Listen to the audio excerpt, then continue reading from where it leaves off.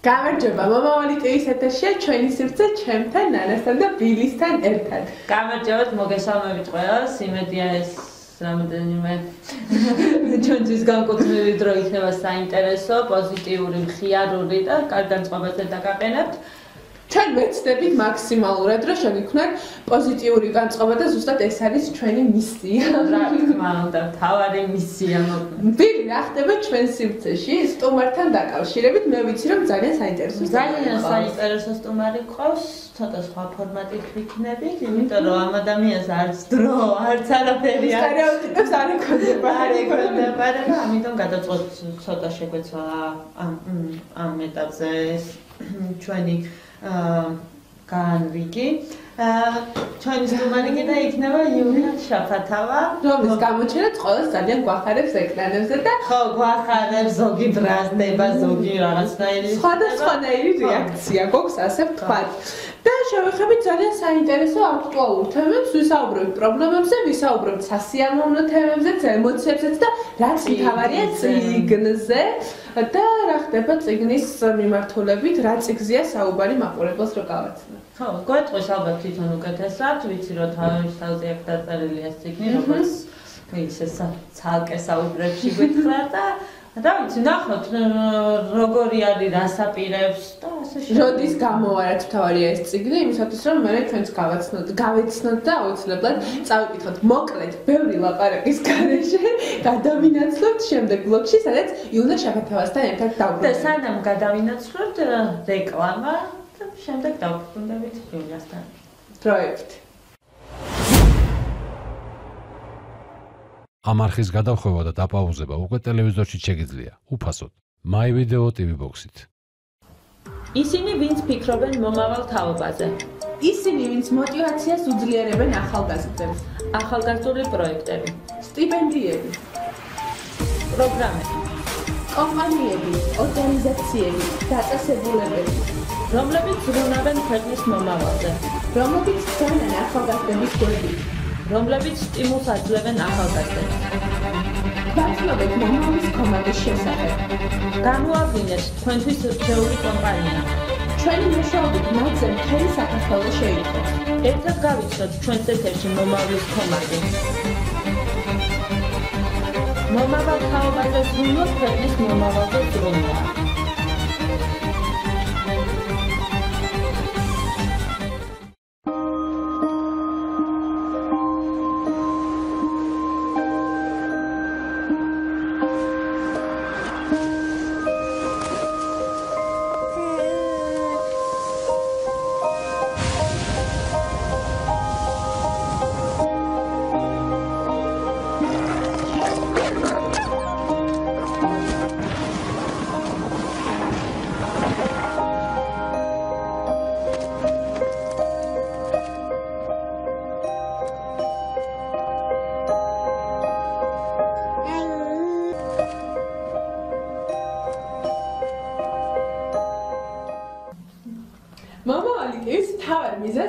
ახალგაზრდების მხარდაჭერა წარმოადგენს. ჩვენ მაქსიმალურად ვცდილობთ ჩვენი განათლებებით, ჩვენი პროექტებით ხარი დაუჭიროთ ახალგაზრდებს და აქვე დავამატებ იმას, რომ ჩვენი გვაქვს განათლებები, რომლებიც უშუალოდ მოიცავს ახალგაზრდების ნიჭის რეალიზაციას და ჩვენი წამყვანი ძველი აქტიურად არის ჩართული ამ ყველაფერში. ამასთან ერთად მომავალი ტიუმად დაიწყო აქტიურად მუშაობა იმ კომპანიებზე და ორგანიზაციებზე, რომლებიც ახალგაზრდებს გვერდში უდგნენ და დაიწყეს პროექტი სახელწოდებით მომავლის კომა. კომაგი. მომავლის კომაგი.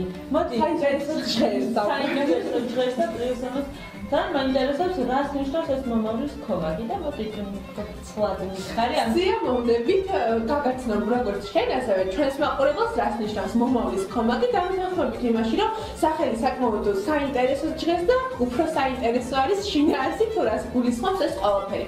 რეალურად ჩვენს სივრცეში არიან კომპანიები ორგანიზაციები და დაწესებულებები რომლებიც ახალგაზრდებს უდგნენ გოჩი და ძალიან ბევრ კარგ საქმეს აკეთებენ თუნდაც სტიპენდიების სახით თუნდაც სხვადასხვა დასაქმების პროგრამები და ასე შემდეგ ანუ გვერდში უდგნენ გვერდში უდგნენ და მაქსიმალურად. ცდილობენ რომ ახალგაზრდების რეალიზაციას, ნიჭის რეალიზაციას და ასევე სხვა სახით გაუმართონ ხელი და ქალმოქმედებასაც ეწევიან ამ კუთხით ეს არის ყველაზე დიდი ქალმოქმედება და ყველაზე დიდი ინვესტიცია, როდესაც ეხმარები ახალგაზრდას, ამით ქმნი უკეთეს მომავალს. მე ასე მგონია ყოველ შემთხვევაში. ძალიან ბევრი შემთხვევაც ვიცი, უნდა გითხრა რომ არის კომპანიები და ასე შემდეგ, რომლებიც ეხმარებიან აა ნიჭი ერთაობას, რაღაცა რო აქვს გასაკეთებელი და რო ჯერათ ამას და ამიტომ მადლობასაც უხდით ხოლმე ყოველთვის და ეხლა უკვე საშუალო მასშტაბური იქნება ეს ყველაფერი და ბილი სხვადასხვა არიან კომპანიები, რომლებიც არჩევენ. შეიძლება ჩვენ ვიცით ვიწრო წრეში, რომ ჩვენს მეგობარს ან თუნდაც ჩვენი ძალიან ბევრი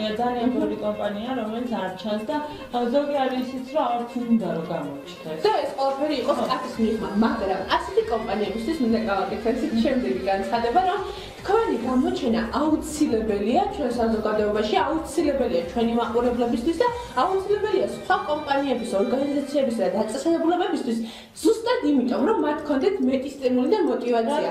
და მარტივი მაგალითი. შენ ხარ ბილი, რომელსაც გაქვს კომპანია სახელწოდებით ბილი, მაგივად რომ აუხსნათ მაყურებელს აუხსნათ და აკეთებ ძალიან ბევრ კარგ საქმეს, მაგრამ არ გინდა გამოჩენა. მე შენთან მოვდივარ და გეუბნები რომ უნდა გამოჩნდე, იმიტომ რომ ჩემს ვიღაცის კომპანიას სახელწოდებით ნაგას ძალიან უნდა რომ გააკეთოს კეთილი საქმე და ეს ყველაფერი გამოაჩინოს, მაგრამ ამისთვის ჭირდება мотивация და мотивация ამ შემთხვევაში შენი კომპანია იქნება იმით რომ შენ გამოდიხარ და აჩვენებ, რომ ამ საქმეს გააკეთებ და ჩემთვის ეს დიდი мотивацია რომ მეც გავაკეთებ და მე გამოვარჩი რა ყველა. ნამდვილად мотивация ერთი და მეორე ის რომ უფრო დიდ სტიმულს მიცემა ალბათ სხვა კომპანიებსაც რომ უფრო და უფრო მეტი გაკეთდეს ახალგაზრდებისთვის, უფრო და უფრო წინ წავიდნენ ახალგაზრდები მათი დახმარებით.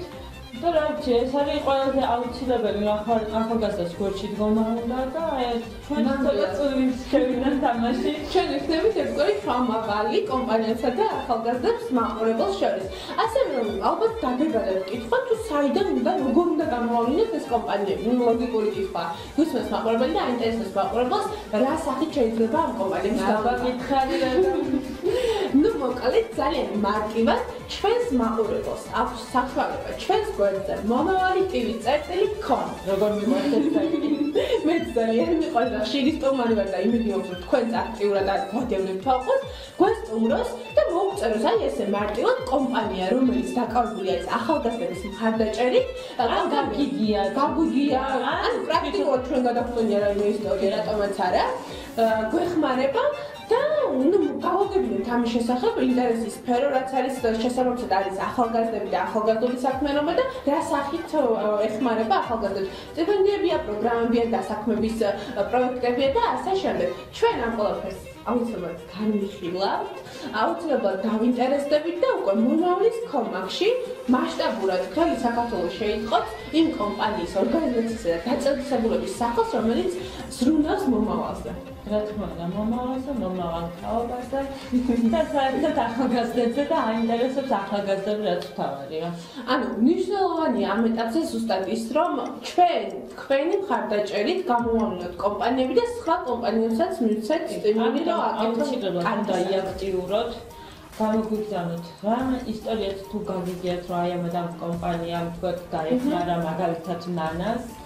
და ჩვენ ამ ყველაფერს განვიხილავთ და ვეცდებით ყველაფერი გამაშიფოთ აბსოლუტურად მაქსიმალურად ინფორმაცია მივაწოდოთ დეტალურად მაყურებელს და თქვენ დამითანხმებით გილი იმაშიც რომ ეს იქნება სტიმული არა მხოლოდ კომპანიებისთვის არამედ ახალგაზრდებისთვისაც რომ არსებობს ასეთი კომპანია რომელიც იმ შემთხვევაში თუ გექნება მაღალი აკადემიური მოსწრება გაფინანსებს ან გიშვებს საზღვარგარეთ წასვლა კი რა თქმა უნდა მე უფრო დიდი სტიმული მექნება ისედაც მეგონება რომ უფრო გავაკეთო. რაღაცა დამიფასდება ამით და ყველაფერი ჩემი თუნდაც წვარება, თუნდაც ენერგია დიოს, სპორტი და ვიღაცა შენ აღნიშნავს, რომ იცი რა ეს ღირს.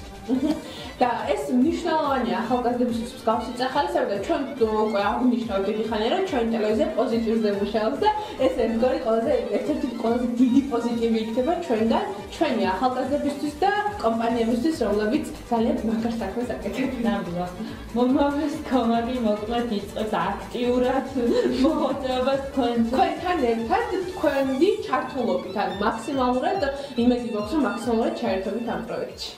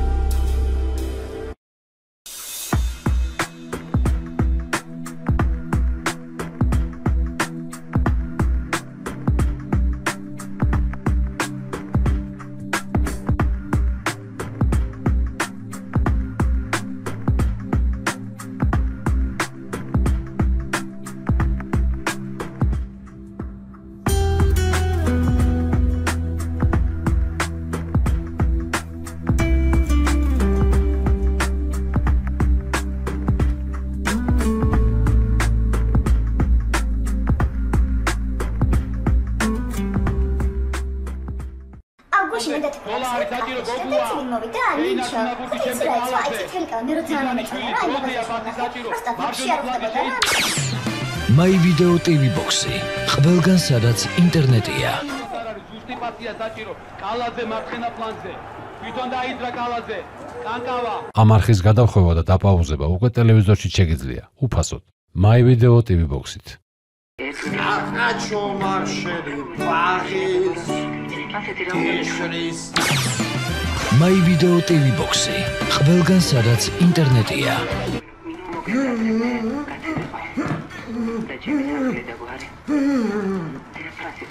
სიმართლე შიცზე ვირუსის გადაცემის რისკი პრაქტიკულად ნულოვანია უფასო HD receiver-ი სახში მიტანით. აზზე მეტი ქართული, რუსული და სხვა უცხოური მაღალ რეიტინგული არხი. მაგარი ტელეფონი 205 41 41 sky kaukasus.com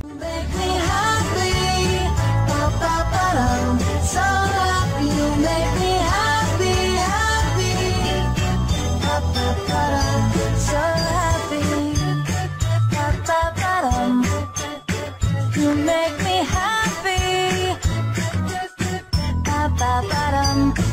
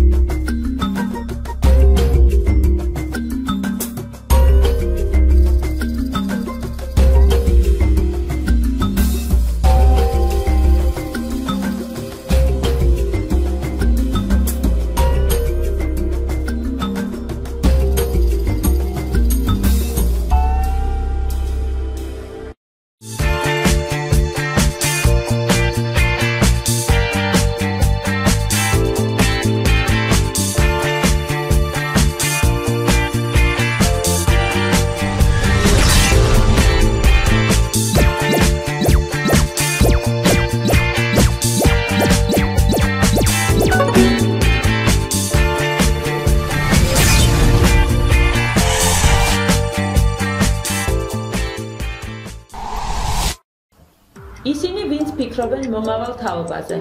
ისინი, ვინც мотиваციას უძლიერებენ ახალგაზრდებს, ახალგაზრდული პროექტები, სტიპენდიები, პროგრამები, კომპანიები, ორგანიზაციები, დაწესებულებები, რომლებიც ზრუნავენ ქვეყნის მომავალზე, რომლებიც დგანან ახალგაზრდების გვერდით, რომლებიც სტიმულს აძლევენ ახალგაზრდებს. ვაცნობთ მომავალის კომანდის შესახებ. გამოავინეთ თქვენთვის რჩეული კომპანია. ჩვენი მეშვეობით მათზე მთელი საქართველოს შეიტყოს. ერთად გავიცნოთ ჩვენს ეთერში მომავლის კომანდი. მომავალ თაობაზე ზრუნვა ქვეყნის მომავალზე ზრუნვა.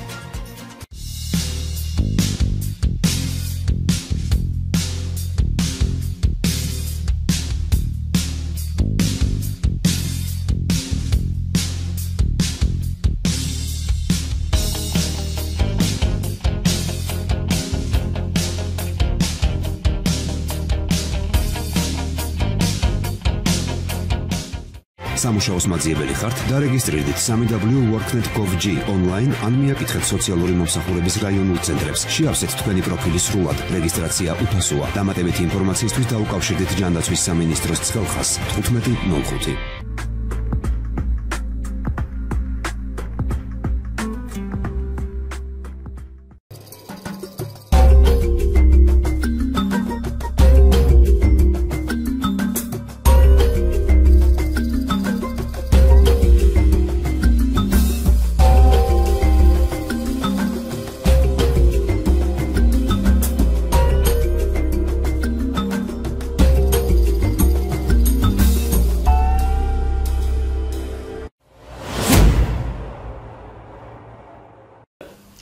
მომავალი ტივის ეთერშია ჩვენი სივრცე, როგორც დავაანონსეთ, ჩვენი სტუმარია უფლებადამცველი და მსახიობი იუნა შაფათავა.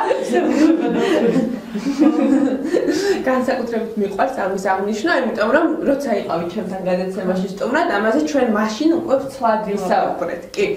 იუნა, რა ხდება შენსკენ? ვიცი რომ დაწერე წიგნი და მოდი მაყურებელს გავაცნოთ ამის შესახებ ინფორმაცია მიგვაწოდე.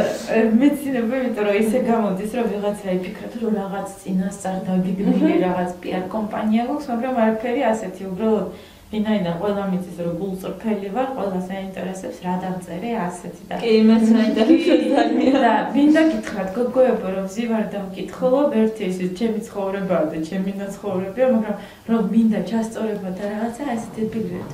წავიკითხავ და იმ დღეს დევს ხოთაშორის ერთ-ერთ გამომცემლობაში და ძალიან მინდა იმ გამომცემლობამ დამიბეჭდოს და ვიტირე რა თქმა უნდა აღარ დამეძინა რატომ ტირდება ნუ არ არის ისეთი საკითხავი რა აი გეგონება აი ჩერჩეტი ქალის და გართოს ყველაფერია რა მანდ რაც ზედაპირზე ჩანს და რაც შიგნითაა და რაც უფრო შიგნითა ეს მეც მოხდება ხო და მე ძალიან დიდი იმედი მაქვს რომ დამიბეჭდა მაქვს სურვილი კერძო პირებსაც დამიბეჭდონ დიდი მადლობა ამისთვის და მე პირადადაც შემიძლია ეს დაუშვათ გავაკეთო ხო რაც ერთადერთი ნუ მეზარებასავით არა ეს წინა წიგნის გამოცემის კამპანია პრეზენტა არ თვლი რომ აი დაუშვათ არ ჟორჟ სანდი ვართ და არ ფრანსუაზა საგანი ვარ ნუ არ შეიძლება რა აი რომ იციან ჩვენთან ახალ ბედებმა აი მე მე დავწერე და всё მე ის ვარ გენიოს ვარ არა ნუ ცდელობა არ არის პირველი რა თქმა უნდა მაგრამ აი მინდა იმ გამომცემლობამ დამებეჭდოს რა იმიტომ რომ აი ეს ყველაფერი თვითონ რო გააკეთონ და მე ცოტა მორიდებულად რომ რაღაც ინიციატორი არ გინდა რომ იყო არა როგორ ინიციატორი? ვარ რადგან დავწერე და მივიტანე გამომცემლობამ და ის ის გეზარება ის პროცესება დიდი გამომცემლობაა და თან მინდა რომ თელ საქართველოს მოედოს ეს. და მარტო თბილის მაასა ეკითხოს დაუშვა მასშტაბური გინდა რომ კი მინდა იყოს მასშტაბური და მინდა შეაფასოს. რა უნდა იცი რა არის უბრალოდ ციგნის ხო იმას ვიტყვი რომ ხელოვნების შეფასება როგორ ხდება, როგორ ხდებაო ფასის დადგენა, რამდენ კრიტიკოს და ექსპერტს მოეწონება. ჩემთვის ხელოვნება არის ის ამ საუკუნეში, რომ რაც მივა ადამიანის ემოციის ღრმად შევა და აღძრავს რაიმე ის განცდას. აი ეგ არის ჩემთვის ხელოვნების მიზანი, რომ რაღაც განცდა აღძრავ და ჩემი მხრიდან სიკეთე მინდა და რა ემოციას გამოიწვევს ძალიან ბევრი მომენტი გამოიწვევს ძალიან ნეგატიური ემოციას, ვიწოდე ჩემშიც ნეგატივს იწვევს ბევრი რაღაცა, რაც მომწერია, მაგრამ ეს არის ერთი ქალის ცხოვრება. რომელიც ალბათ მაინც რეალურად ყველას აინტერესებს. საინტერესო, იმიტომ რომ რა ვიცი, ხო, ხალხური ღირებულების რა გითხრათ, მაგრამ აი უნდა იყოს თაჩი რა.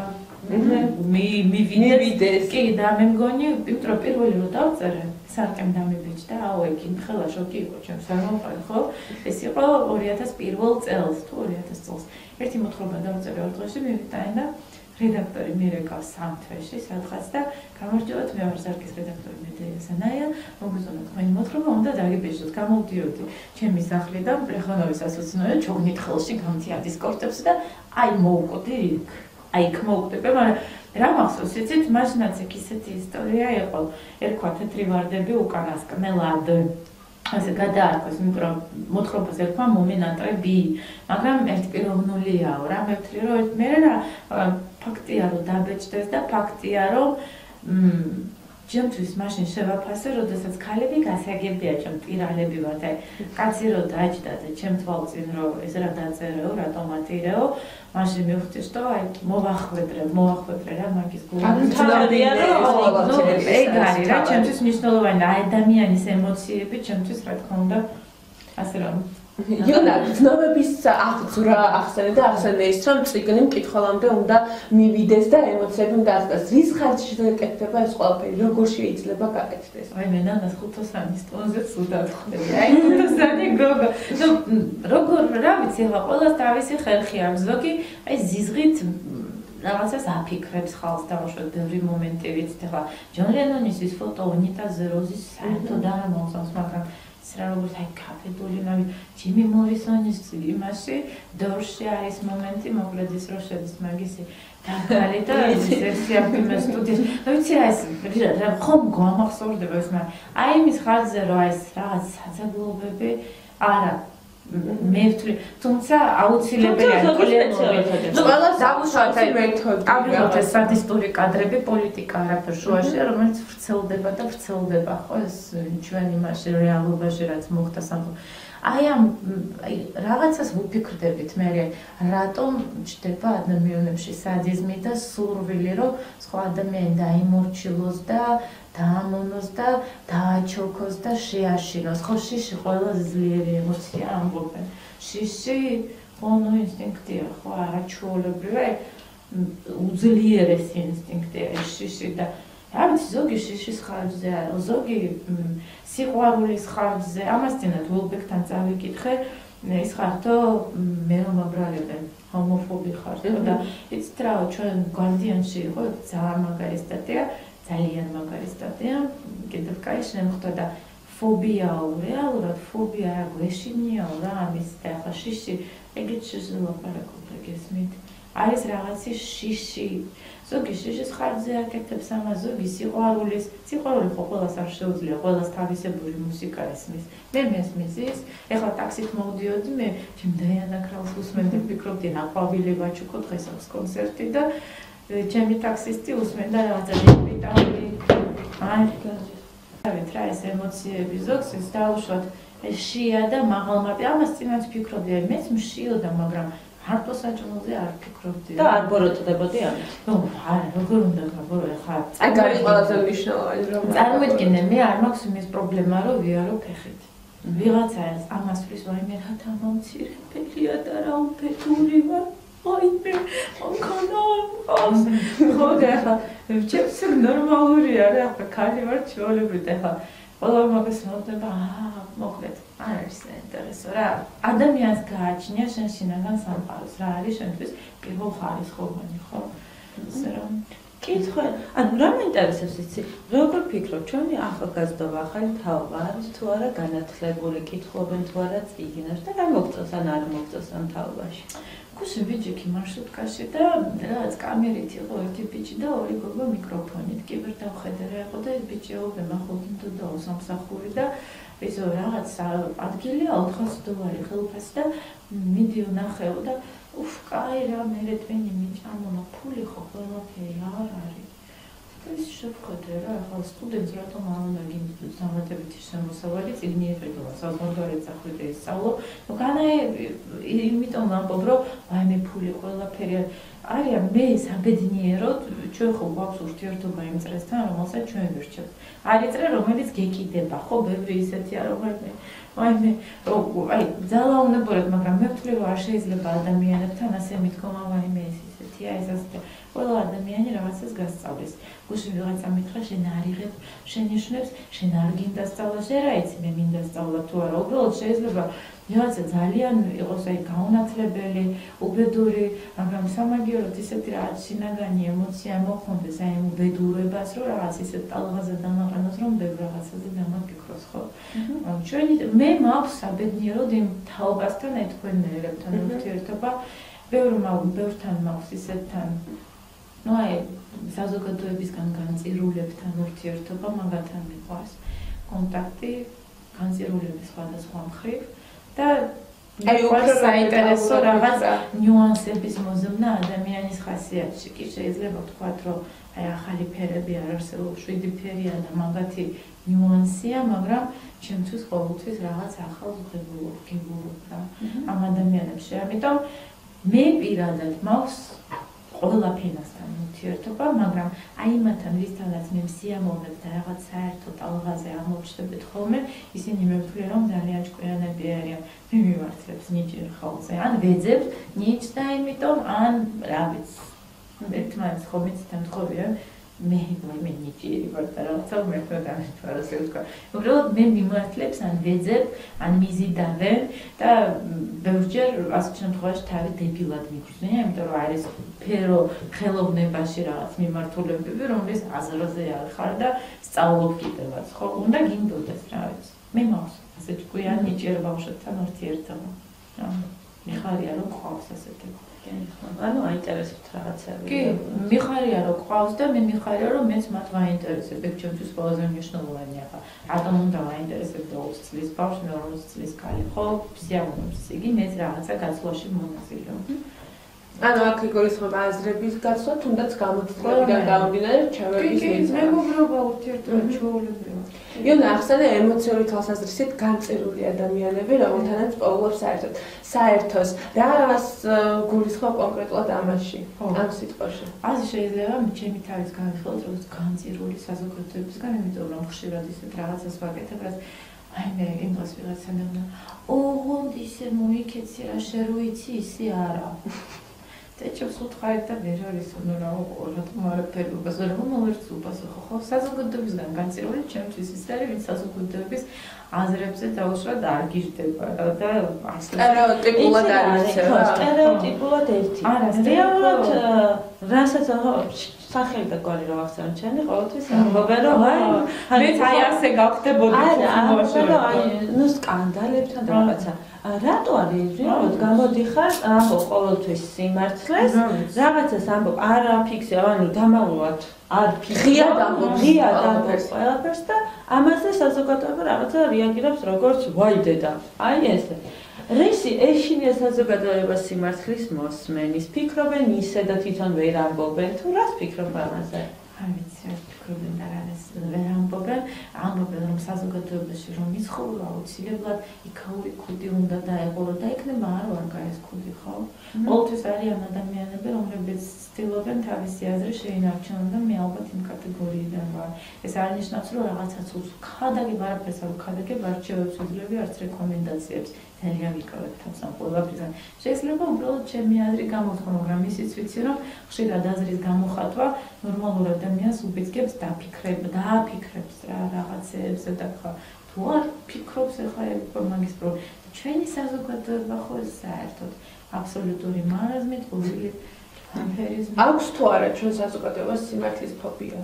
და რამდენი დიდი დოზით? ნამდვილად ძალიან დიდი დოზით აქვს სიმართლის ფობია, გუშინ ღამე დავდე მ გაგიცინება დასავალ დასავალი წავიკითხე, რომელიც ასე არ უყვარს რაღაც გარკვეულ მიმდინარეობებს. ადამიანებს არის ხდება თიცით, რომ საზოგადოების ეს კლიმატი იქმნება ეპოქის მიხედვით. აი დღევანდელი კლიმატიც რა ყოფილია, ისე მგონია, რომ აი რომელი გითხრათ რა, ჩირქიანი ანგინა არა, ჩირქი როგდის რა ტანზე, აი ესეთი დღეს საქართველოს დღეს გუშინ ხვალ კიდევ იქნება ეს კორცხების სროლა, რატომ უნდა გინდოდეს ვიღაცა პოლიტიკურ პარტიას მიემხრო? მე ამას გესმით. უნდა გინდოდეს შე რაღაც მუხტი ატაროშენში და სხვა სუტრები, კარგი რა, უბრალოდ მოდი რა საქმე ვაკეთოთ და რაღაც ნა, კარგი რა, რა როგორც ქუჩაში გასულ. ქუჩაში იძულებულები ვართ გავიდეთ. ქუჩაში რომ მიდიხარ, რაღაც გუნდის წევრი ხდები, ხო? ამ ესენი რომელი გუნდია რომელზეც სანარქია და არეულობა და ომი და სროლა უნდა. შენ არ გესმის რომ შენი პაციფისტური ბუდიში ერთი ადგილის თამაში. არ არის ერთი ადგილის თამაში. პირველი ვინც ის როლა მე როდესაც მე რა ვთქვი მაგას მთელი კაცობრიობის პაციფისტები ამბობენ რომ პირველი ვინც ის როლა იარაღი ის იყო ცივილიზაციის მომტანი სიტყვის მარკებრა დროს თუ პირიქით იყო როგორი იყო მათ ხო ვინც ის როლა როგორ შეიძლება ეს იყოს ომი ცივილიზებული ადამიანის არჩევანი? ის რო არის ჩემი საყვარელი სების პაკემ პარაბელუმ თუ გინდა მშვიდობა დაიწყო ომი თუ ხო რა? ომის. ხო, ემზადე ომისთვის, მაგრამ აი მაინც ჩემთვის მიუღებელია და რაც არის სამშობლოს დასჭირდა. იმ სამშობლოს დასწრების გაფართოება თუ შემცირებაზე მე სულ არ ვფიქრობ. მე ვფიქრობ საზღვრების გახსნაზე. გესმით ამიტომ? გახსნაზე ვფიქრობ. ის ფიქრობს, ვაიმე რუსეთმა ჩამოაჩოჩა, ვაიმე საქართველოს ბაქოჯეი ხანზე თქვა უარი თუ გაზპრომი აიღო. ჩემთვის სულ ერთია. ჩემთვის თავარია აზროვნება გაიხსნას. და გაიხსნას საზღვრები. რა კაია ხო ევროპაში უვიზოდ მიმოსვლა? რა კაია ხო ნატოს წევრები რო ვარ სულ არ მინდა ვიღაცის დაქვემდებარებული ქვეყანა ვიყო. მე მინდა ნეიტრალიტეტი. არ შემეშინდება ბევრი. აი მე ხდებილი გოგო ხარ პოლიტიკურად მომზადებელი. მე კი პოლიტიკურად მომზადებელი არა, მე ვიცი რომ არ ეცოდეს არც ერთი პარტიის გუნდის წევრი არ გავხდები და ანერცანი ვერ ვიფყვი და ქაქი მე როგორც ვაწყობ ხოლმე, ვინც იყო აპოლიტიკური ესე ყველა ყველა გახდა. ყველა პოლიტიკაში გინდა თუ არა, ის სადაც არ უნდა მოხდე. სულ გასართობად იყო სადმე წასული ის მაინც პოლიტიკა ვიღაცა მე ვიყავი ამას წინათ ვიყავი კლუბში აი რა შუაშია საერთოდ მაინც აი ვიღაცამ რაღაცა რო არ თქვას არ არსებობს. რა სინდრომი გახდა პოლიტიკაზე საუბარი. თან ის ის თუ არ ლაპარაკობ ეგ უკვე ცუდი ის აი ეს რა ზოგჯერ არის ეს გამონათებები. აი შეკოცო აი შენანცო და ორივეს აქვს თავისი ზეცართავის სახელი და თავისი დამახასიათებელი ნიშანთვისებები, რა თქმა უნდა, ასაუბრასაუბრზე დავიწყე რაღაცას დადოს წამების კადრები, სცემის კადრები, რატომ გავიწყდება ჩვენს ყველაფერი, ან ცუდი, ან კარგი, ხო? გიждებოდა ჩემი ჩოგბურთელი და მიშაზე, ხო, გიждებოდა ჩემი მიშა, ჩემი მიშა. მომენტებში მეც მომწონდა. რაღაცეები ამათი არ მომწონს, რაღაცეები იმათი გუჟი ნადამახშანია, ისე ყვიროდა ეს რუსთავიორთან, პერფორმანსი მოაწყორა. აი ისეთ რაღაცეებს ვასწრები ამ ბოკერიან თქვა, ეს ბრბო, რატომ არ მე ბრბო თუ მე დაუშვა და არ მომწონს ვიღაც წამება და ის არის არ არის ბრბო, რომელსაც წარსულ. აი არ მესმის, ამათი აი ეს სტერეოტიპები და ამათი პოლუსები ჩემთვის მიუღებელია. ეს მე ვიცი რომ მე რო ბილი ახლა შენ გცემო არაფრის გამო, იმიტომ რომ შენ თქვა რომ იცი რა მე მომწონს აი ქართული ოცნება ან ნაციონალ დებილი ვიქნები მე ვიცი რა და არ მინდა საერთოდ ბავშვი ყავს და გავიხ ხვლიჩოთ ორ ნაწილად მაგის გამო. შენ შენი მოსაზრება გვაქვს მე ჩემი. მოდი ქვეყნის ასე კეთოთ რაღაცა კარგი ვაკეთოთ, ხო?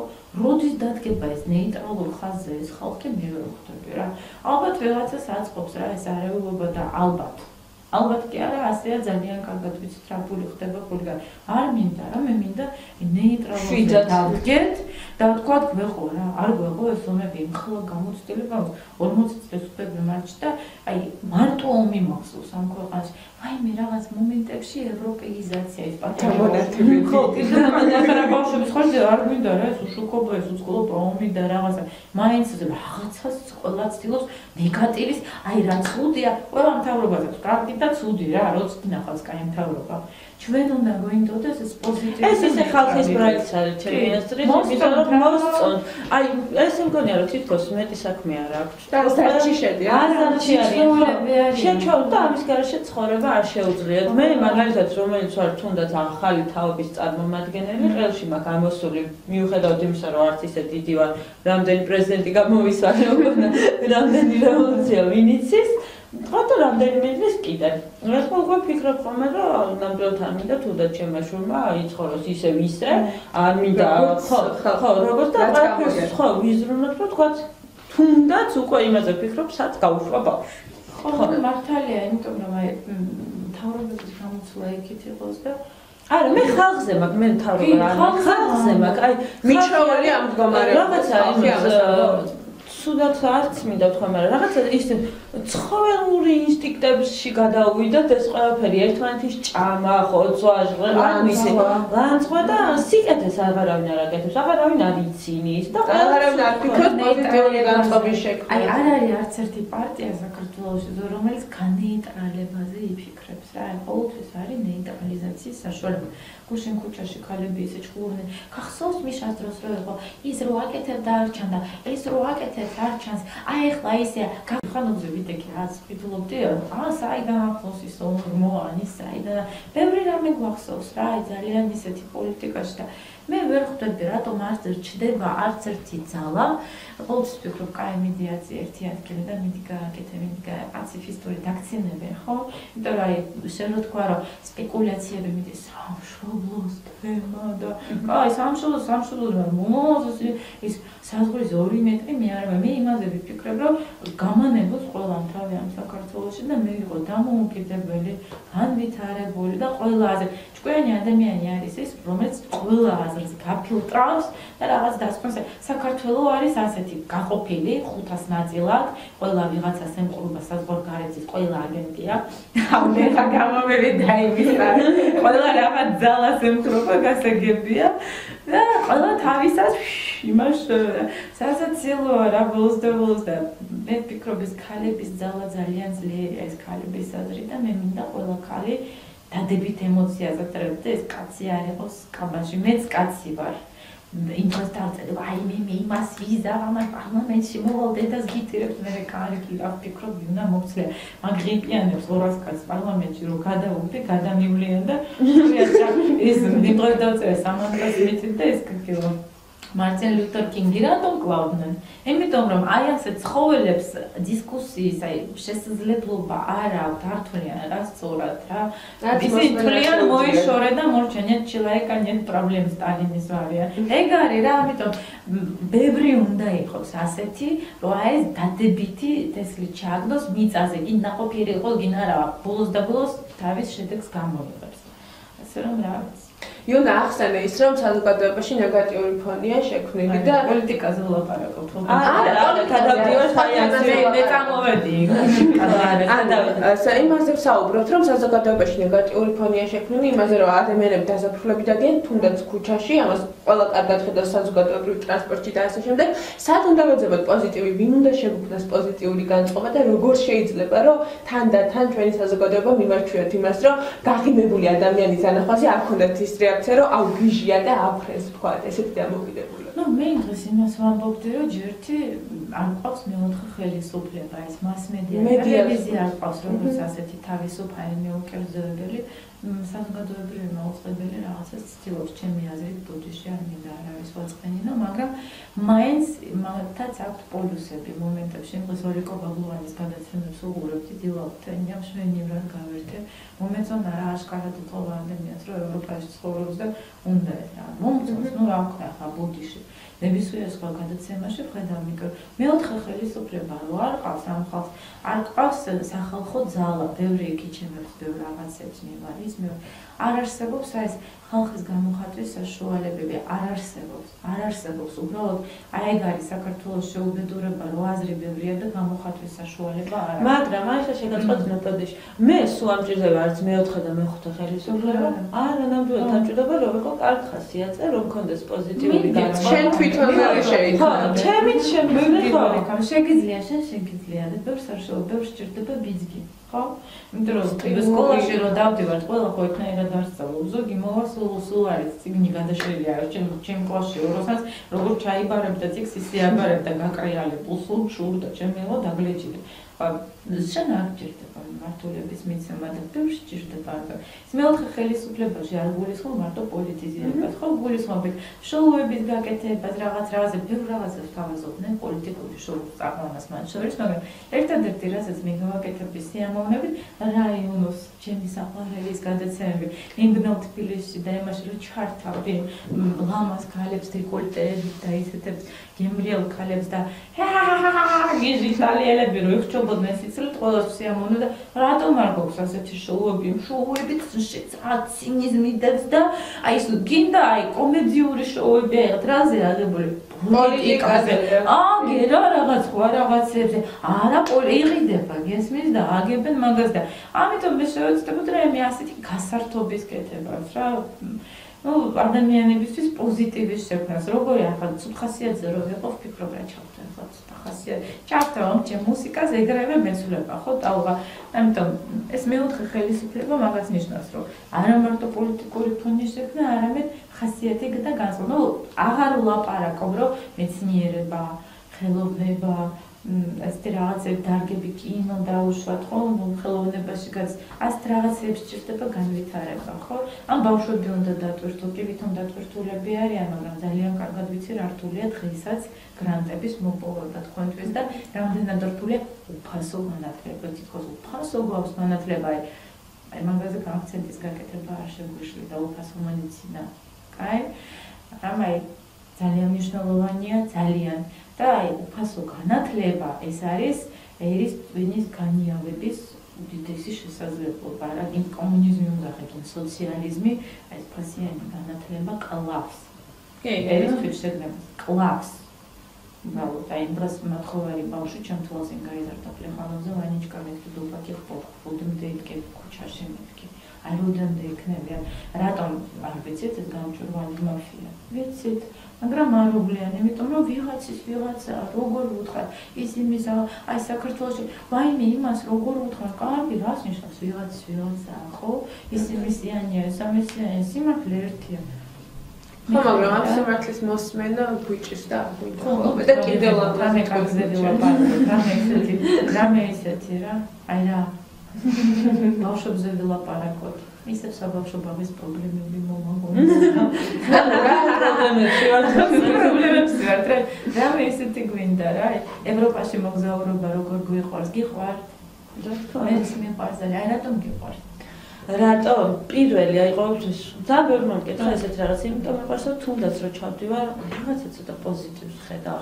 უფრო მეც გაღირო პოლიტიკაზე ლაპარაკობენ მაღაზიაში. არსად, სადაც ყოფნა არსად ცხოვრებაში ერთი სიტყვაც არ გამიგია, მით უმეტეს ახალგაზრდებისგან არ აინტერესებთ არაფერი მსგავსი, როგორ ისწავლონ, როგორ გამოიყენონ დრო, როგორ დანარჩენ დროს იმუშაონ, გაერთონ და რაღაცა ანუ ცოტა ყველაფერში სხვა რაღაცა დავინახო იქ ვიღაცა იცის წიგს კითხულობს რაღაც. ა ყველაფერი სხვანაირად ხდება. ყველას თავის საქმე აქვს იქ ხო. ამის ხომ. საქმე აქ და არ აინტერესებს მე ახლა გარეთ იმითი იასამისფერით მიდგავა ყვითელი სტაფილობელი თუ მოტოციკლეტი თუ გოგო ვიქნები მაინც და ნუ ცოტა იქ სხვა. ვინმე ამას ძიანად გამიკვირდა რაღაც შედარებით მოკლე კამამეც ვერ ვიცი ანუ რომელი ხო ისეთი რეაქცია ქონდა მეგონა 17 წლის ხო ის 18 და ეს ნოთველიშო ასეთი რაღაცა. ა ძალიან მე მეგონა განვითარდით ამ ხრებ შორტებში რომ დადიხო მართლა მეგონა რომ განვითარდით რა თურმე არა. ხო რაღაცა გამოსცემდა. ხო ჩვენი ხალხი რაღაც სპორტული აქტივობით მაინც არ არის დაკავებული თქვენ შეგულ არის აბა თქვენ შეგული ანუ მე ვფიქრობ, რომ უფრო მოდას მოწყობიან და ეს რომ რეალურად. სპორტულად არის, სპორტული ცხოვრებით ხო. ცხოვრობ, მაგრამ რეალურად არ არიან. მე ნუ ასე სპორტული მგონია. ცხოვრება ნიშნავს იმას, რომ არ ვეწევი სიგარეტს, არ ვსვო, პლუს ან ხო, და უნდა ივარჯიშო. ეს არის სპორტული ცხოვრება. მე თუ ახლა წავედი ვივარჯიშო და მე სადმე თავზე და ხინკალი წავე და დავთვალე და ასე შემდეგ. ეგ არ არის სპორტული ცხოვრება. რასაც ეძახი. აქტიურად უნდა იყო თუმცა, ხო, ძალიან მოდაში შემოვიდა. მოდაში კი, მოდაშია. ეს მეორე სურათი უდოს, როგორ სურათი უდოს, ხო. როგორ დარბია, როგორ ვარჯიშობენ, ამის რეალიზაციას და თქვა მე პრინციპში გამჩნევ რომ ვარჯიშობენ, იმიტომ რომ დედაენის ბავშვი აღარ თუ მარტო ქალი დაყავდი, ახლა კუქურების დარბიან და ბიჭების მას მეკითხება აიონ როდის ეს ვენება მაქვს მე ხო, იმიტომ რომ უნდები დამებერა და რაღაც ჩექმაში არ მეტეოდი და მეთქი ცოტა დამიდგენ და არ არ ვარდნება სკუთები. ასე აძლევად და რა ვიცი, არა, თითქოს რაღაც ტენდენცია არის, მაგრამ მაინც მაინც ამ ხრივითონ ბევრი ის არის ცენტრი და მაგრამ ძალიან ძვირია ხო ხო მე არ ვარ საერთოდ ეს ცენტრების და ასე შემდეგ. მე მოყვარული, მიჩემია გარეთ გავიდა, ველოსიპედით ვიარო, ფეხით ვისეირა და აი ველოსიპედი ცოტა სახეთათოა ჩვენთან. ხო. ესეც მქონდა მანქანები და ეს დარებასაში მე ერთხელ დავწერე რა ერთ ოჯახში სამი მანქანა. შენ აღგეს მისის ტაქსისტების სამწყლები. ვინ ამბობს რომ საზღვრები ჯერტი ხო არის საზოგადოებრივ ტრანსპორტში ეს ვერ მომაგვარეთ რა. აი ევროპაში მიდიხარ ნებისმიერ ქალაქში არის რა ჩვენს გვაქვს ხო ეს კოთელი მარშრუტკები. ვერ დალაგდნენ რა ამ ინფრასტრუქტურას. გვაქვს, მაგრამ ადგილები არ არის. მე ვამბობდი ხო აი დავუშვათ ალავერტში ვიდიოთ მე და დედა ჩემი. აუ დადის გიგონება ეს არის ფორმულა 1-ის მძღოლი ეს მძღოლი ტრასა გულინგის განა იმიტომ რომ გიშინია ხო უბრალოდ უნდა გქონდეს რაღაც ну ბევრი რაღაცა ისე პრობლემებს გადაეთ გავჩუმდა ჯობია. ისე რავენ ვერძე ვილაპარაკოთ დავაი მოდი სიყვარულზე ვილაპარაკოთ სიყვარულზე აი ესე თქვა მამუძრავი ძალად რო აღიქვამენ სიყვარულს. ხო ზოგებისთვის დამამოძრავებელი ვისთვის დამანგრეველი. შენ შემთხვევაში როგორ ჩემს შემთხვევაში ბევრი ეს ბევრი სახეა ბევრჯერ მყარებია. ნუ ისე ანუ ეთანხმები თუ არა იმ მოსაზრებას, რომ მხოლოდ ერთხელ გიყვარდება ასეთივე სიძლიერით და მარტო ერთხელ გიყვარდება ამას. აი ძალიან რთულია. მე რო დავიწყო ნახსოვს და ორი წლის ვიყავი და რაც მასე ჩვენ ვიყავით პატარები სამსახურში ტიპ სერვისში მე და დეა და სულ დიდები იყვნენ სულასტი. გათვიცნობიერებულები და გამოცდილები და მაშინ ერთმა ძალიან ისეთმა კაცმა თქვა, ვისაც ორი მეუღლე ყავდა ძალიან პატივს ემას და მაშინაც თქვეს რომ უნდა გიყვარდეს ერთხელ და სამდღა ჯერტი კაცეთ პოლიგამიურები არიან რა სისულელია. კაცი ერთხელ შეიყვარებს, მაგრამ გიღალატებს 10000 ჯერ. ხო და მაშინ თქვა რომ ეს ერთი კაია, მაგრამ ამ მრავალფეროვნებით იძენო რაღაც ფერებს და რომეთი რაღაც ის გესმის და რაღაც რა ვიცი ვერ ვეთქო ყველას თავისებურად აქვს მე ვიცი რომ მე ძალიან ცნობის მოყარება რა უნდა იყოს ის მამაკაცი რომ ჩემთვის მთელი მსოფლიო იყოს მაშინ მოქცეული. ანუ სიღრმე უნდა გქონდეს ამას შეიძლება სიღრმე იყო ნებისმიერში ხო ნებისმიერში სულ მაგას ვამჩნევ ახალ სამსახურში რომ მივდივარ ვიღაცები რო აჩვერო ახლა დავიწყოთ მუშაობა შეიძლება ძალიანაც არ მოგწონდეთ და თავიდან ძალიან მაგრამ მე შემეჩვევით ხო ვიღაცა არ მომწონდეს, მაგრამ მე შევეჩვევი. ასევე ადამიანი და სიყვარული, უბრალოდ ჩაიდებ თავში, ზოგჯერ ისე ტალღაზე ვარ, მზად ვარ ეს ქულგად შევეყვარო, მაგრამ მე ვჩერდები და ოიოიოი არ ქნა ეგ, მაგრამ რომ ვიცი რომ ადამიანი ყველაფერს ეჩვევა, ცუდსაც და კარგსაც და ამიტომ ძალიან ფხიზლად უნდა შევაფასოთ ეს სიყვარულის. რა ის თუ ფხიზლად ვაფასებთ უკვე რაღაც სიყვარულია, მაგრამ მე შედეგები ისეთია რომ ამბობ ვაი რა დებილი ვიყავი ასე. ეს ვერ ვიტყვი მე ამ ხრივ როგორ ჩანს უნიჭო ვარ მიჭირს. რეალობას კარგავ. შეიძლება ერთი დღე ისე მიყვარდეს რომ თავი წელიწადს დამდელ ცხოვრებას უდან რა ხდება სამსახიობო სფეროში? აი მე ახლა რომ მოვედი ხო თქვი რომ ძალიან კარგ კასტინგებზე ვიყავი და ძალიან მინდოდა. მინდოდა. ერთხელ ერთ მომსახიობმა კარგმა გოგომ შემომჩილა მე რომ გამოვჩნდი ეკრანზე რომ რა არის მომსახიობობა გახთაო ჰობი მე უკვე აი სახიობებთან შედარებით ახლა წამოიჩეკნა დამცინა ვიღაცა ზოგი კოჭი აურელი ხავში მგენაცვალე მართლა რა ისეთ შტაბეჭდება აი ისეთი ბრალებს რომ მე მსახიობი ვარ ერთხელ ეს ჩაუჭყა კონვენას რაღაცას იდა და უკვე მსახიობი. არა აუცილებელია ახლა რეალური. მაგრამ კაია პრინციპში რომ ინფორმაცია ბევრია მაგრამ აი გაფილტრაც რომ ვისწავლოთ ყველაზე არ თქვა რომ მე რა ნიჭიერია ვაი ვაი ვაი აი ანუ შეფასება უნდა ვისწავლოთ. ნუ რო შეფასება ვისწავლოთ, ცოტათი უნდა მეტად განვითარებულები ვიყოთ. ვერ ვერ ვერ ვიტყვი რომ ყველა ასეთია, მაგრამ კულტურა რო შეგეძლოს ანალიზის უნარი მთავარია, ხო? და მინდა რა კინო მინდა ძალიან. ნახოთ. ისეთ კინო მინდა რა. აი საოცნებო როლი ან საოცნებო აი თუ გაქვს რამე ისეთი რასაც სიამოვნებით შეასრულე. ისე წავედ დაუბრუნდი ჩემ უკანასკნელი ტანგო პარიზში. მარია შნაიდერმა დაწერა და ამბობდა რომ მე დავიღუპო მაგ როლის მე. ამიტომ რომ რომ მივიდიოდი რესტორანში, ლანგარზე მქონდა თუ კარაკი იქ არის ერთი გამოპატიურების სცენა. რა ვიცი მე კი ვამბობ ერთი ეგეთი მეთამაშე და მე 50 წლის მერე ჩემზე ცელაპარაკა და აი აი მაგას ქვია ემოციის აღძვრა ხო? ასეთი საზიზღარე ურთიერთობა და სიყვარულის და ურთიერთობის მაგალითად რჩება მაინც მე ჩემთვის მაინც იდეალური ასეთი ურთიერთობა. მე ჩემთვის ცხოვრობ ის თავისთვის, მაგრამ არავის არაფერს არ გქონდა მე მომწონს. არასწორია რა თქმა უნდა. ოჯახი უნდა შექმნას და ეს კაცობრიობის გაგრძელებისთვის აუცილებელია, მაგრამ ჩემთვის პირადად ასეთი ურთიერთობები იდეალურია. აი ასეთი როლი იქნებოდა საოცრად. ხო, ან მუშნა ჟენშნა კარი და მამა მოგწონს საქართველოს გადაღებული ფილმები. არა, რა თქმა უნდა, რა სისულელე.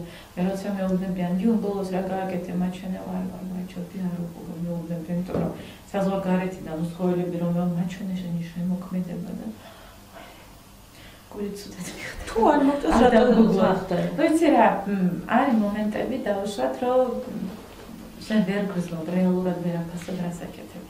მარტო შედეგს რო ხედავ, შედეგი რო დგება, მე ხვდები რა ქენი. ო იგივე იყო ეს გაუპატიურებელი გადაიღეთ ეს რა ქენი. მე დღესაც ვთვლი რომ არაფერი ისეთი არ ქენი რა. ჩვეულებრივი სამბიჭთან ერთად გადაიღე შეიძლება არ გამოვიდა ეს რა თქმა უნდა. შედეგს რო ხედავთ და წლების მერე უფრო რეალურად აფასებ. და გააკეთე რეალურად და შეიძლება შენ ვერ ხედავთ ახლა კამერის წინ რას აკეთებ და დაუჯერო რეჟისორი იქნება თუ სცენარისტი და კარგი იყოს ამიტომ ვერ იტყვი რა დღეს რომ სულელური მოგიჩვენება სცენარი ხოლმე იქნება. ვერ იტყვი ნამდვილად. რა გეჩვენ კინო? ჩვენს კინოს? ამიტომ ძალიან კომპეტენცია ბერგერმა რატომ არისო რომ ადრეო ეს კინოები და ყველა ფრაზე გენიალური იყო კინოცვალი ჩვენ კინოს ადმოყლია რეალური ხელოვანი ხალხი და რეალური მასტერი რა ქვია მაგას? მასტერი მასტერი პროფესიონალი არა მასტერი ბულგაკოვს როც მასტერი აა ოსტატი და ოსტატი. ოსტატი აკლია ოსტატობა აკლია. ვინაიდან ვინც არის ოსტატი ის არ არის დაუშვათ ისეთ შემზრეული ბოდიში ამ სიტყვაზე ძალიან მიყვარს ბოლო დროს კარგად ხმარობ ამ სიტყვას. აი ოსტატებს აი გაკლიათ მაგრამ რეალური ოსტატობა არის კარგება არ არის რა ასე რომ არის როგორ არის კარგება თუ რაღაც საშუალება არ იმიტომ რომ თვით რეალიზაციის საშუალება უნდა რეალურად ამ სისტემას მართავს 20 კაცი რომლიდანაც 18 არ არის გაწიფული და ოსტატი არ არის და მაგათი სიტყვა გადამწყვეტია ის ორი უმცირესობაშია და ოსტატო აი ზუსტად ეგ ოსტატობა მაშინ ძალიკოს უთხარი რომ ელიტა ხმნიდა ელიტა ანუ რას ნიშნავს? ელიტა ეს კი არა ვაიმე აი დღეს რომ ამათ ლუბუჩინს ჩაიცნებს და ვაიმე შანელის ჩანტით ელიტა არა არა ელიტა. ელიტა არის აქ. ელიტა არის თავისი საქმის პროფესიონალი. და ის კომპანიის იმფენაში პლანკას ანუ თაროს ანუ მას მაგალითი მისაბაძე ეტალონი არის ოსტატი და არა ეს ფუტურო. და აი გაგვია ჩვენს დღევანდელობას და არა მარტო კინოს. ან ყველა სფეროში გვაქვს და არა მარტო კინოში. იმიტომ რომ უმრავლესობაში არის აი ეს ფუღურო. აუცილებლად გამომივიდა. ყველა დაკს. ნუ ჩემთვის სპორტი ძალიან ახლოსაა, ჩემი სოფიკოს თემა და როგორ არის იცით აი შეჭამეს რა ეს სისტემა, შეჭამეს ამ ფუღუროებმა. აი ახლა დაჭნეს კამზე და ხელის ჩამოსართმევად რო გაიგზნო. იგივეა ხელოვნებაში რა გონია, მაინე ფესტივალზე და კინოებზე რა ხდება, და ხო ფესტივალზე გასატან კინოებზე და და ეს ზოგი ისეთი მგრძნობი არის, ეს ხელოვანი რო ვერ ხდება რა ობიექტურად ვერაფასებ. შეიძლება იყოს ძალიან ნიჭიერი, მაგრამ არც იმდენად რომ დაუშვათ აი რა ზეგავლენა Им, инглиш читате са а сад сван Леонардо Ди Каприо. საწყალი ზობლიო ლეო ოსკარი ლეო. ოსკარი ნო მე ვთვლი რომ მაგას ეხლა თუნდა ოსკარი პირველივე კინოში. პირველივე გამოჩენას ნო მე ვთვლი ასე ხო? სამაგიეროდ ასე ხომ სხვანაირად ნუ არ ძამბებს ბევრი რომელსაც არ მიუღია თუნდაც სიცოცხლეში? ხო აი თავშად დამსახურებული არტისტი იგია დამსახურებული სპორტსმენი ძალიან სუბიექტურია ეს რა ვიღაცაზე ისთვის როგორ? აქ მასე ეს დამოკიდებული ლექსები, ვაიმე რამდენი პოეტია დღეს, ვაიმე პოეტია დღეს თუ პოეტობას იბრალებენ. ნუ პოეტი ქვია და გინდა თქვი იბრალებენ გინდა რა ციგნებს ეს საერთოდ ეს გატაცებების ის გვაქვს ხოლმე პერიოდი. ერთი პერიოდი იყო ყველა ფოტოაპარატით დადიოდა მე რაღაც მე რა ეს ამოკვიატება აქვს ჩვენია. პერიოდული ისინი გვაქვს ხოლმე. ან სახიობები ან უნდა მერტი სახე. პანაროუსი ერთი და იგივე. მე რო უყურებ ზოგჯერ ერთი და იგივე გამოხედვა მაქვს კამერაში, ვფიქრობ რა დებილი ხარ. ეს ჩემი ბრალიც არ არის, ეს იმის ბრალია რომ კამერის უკან რეჟისორი არ ვარ, გესმის? ეგეც არის ოპერატორი, ოპერატორს რო უნდა დამაკვირდე რა აქ ეს ქონი არ მიჩანდეს, იგივე მე რაია ქერის ქონიც არის და ბეიონსე ქონის ტომარა ხო? იმე ბეიონსე sex queen და კარგი რა, ჩოულებრივი ქონიანი გოგო, უბრალოდ ძალიან მოძრავი და რაღაცა და კადრებშიც იმაშებია. Snoop Dogg-ის კლიპში იყო, ვიდეო კლიპში ეს ქალი არ ქონდა და წერილიტე. მე კი დავჭდები აქ ჩემი 50 კილოთი და გონიანი ბასკელი. მე რე კუჩაში ვაი, მე რა ხოხტარი გოგო ხოხტა.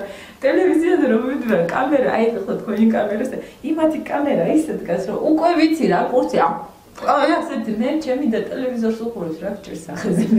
აი ფერი. რა კურსია და რა კურსია ყველაზე ტელევიზია ოპერატორი აი იქ რაც ნებაშია და რა სწხოვრო იცი აი კამერა ვერ ცენტრი გესვის ინტრო გამოცდილია ტი პროფესიონალი უგნები მაგას დასლომბაგდა. აი მას სილამაზ ასე ეს მის რა. ასე რომ მოკლედ ეს გავერთეთ ნამდვილად და ბევრ საინტერესო პრობლემასაც შევეხეთ და საინტერესო თემებსაც. ნუ ფაქტია რომ პრობლემები არის და იმედი მაქვს რომ უახლოეს მოვალში ნელ-ნელა მოგვარდება. მოდი ემოციებზე და სიყვარულზე აღარ ხო, ჩვენ გადაცემას მაგას ემსახურება. ანუ პოზიტიური და და სულ კარგი ამბები მივაწოდოთ მაყურებელს, იმიტომ რომ ყველა დაიღალა. ესე ამბობენ რომ დავიღალეთო და ესეც პოზიტივი. დიდი მადლობა რომ ასეთები ხარ და ასე გინდათ კიდევ სწავლა და მგონება გახსნილები ხარ. მადლობა პირიქით საინტერესო საუბრისათვის. ისეთი საოცნებო. საოცნებო როლი რო შეასრულა ის ეს რომ რაც ესეთი გამომივიდეს და და ველოდებით წიგნს, იუნა, დიდი ინტერესით. აი სათაურს ვერ ვეტყვი, იმიტომ რომ სათაური უკვე ძალიან ბევრი რაღაცას ყვება. ძალიან გვაი მე მარ პირადად მართლა ძალიან დიდი და უცლებად წავიკითხავთ გამოსვლისთანავე. ჩვენს მაყურებელს მომავალ შეხვედრამდე, მომავალ თოყამდე დაამშვიდობებით დროებით.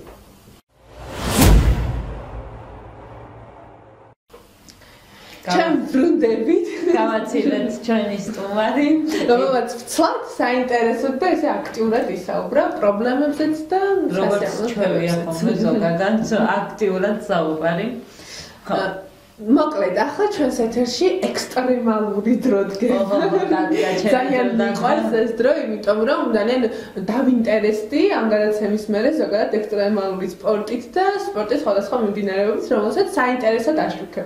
და დარწმუნებული ვარ, ჩვენი შევიცერე ჩვენი მაყურებელიც ანალოგიურად ჩემს გავსად დაინტერესებული და ელოდება მორიგი ადამიანის გამოსვლას კი, ეკრანზე. კი, სხვათა შორის მე რა ვაკეთებ ხოლმე, მე თვითონ უკვე მეოდებ რაღაცა ისე შესასწავლი. თან მით უმეტეს ჩემი სფერო და ძალიან მიყვარს. ხო, რა შეეხება თემებს. თემებს, დღეს გვექნება საუბარი რობი მედისონზე, ეს არის რაღაც საოცარი ადამიანი, აი, ყველაზე არაადეკვატური, არანორმალური და ასე შემდეგ, რომელიც სრიალებს მოტოციკლით წყალს. ვაი. ყველაფერს ველოდი ამის გარდა, რომელიც რეალებს მოტოციკლით, ну რავი, ნებისმიერ რამე წყლის გარდა. ხო, წყალზე თავისი ბორჩაურები. ეს პრაქტიკულად რამდენად შესაძლებელი? ნუ არ ვიცი, როგორც თვითონ ამბობს, ეს იყო ბავშვობის ოცნება მისი, რომელიც უნდა შეესრულებინა, ნამდვილად შეესრულა, რომ ნახავთ.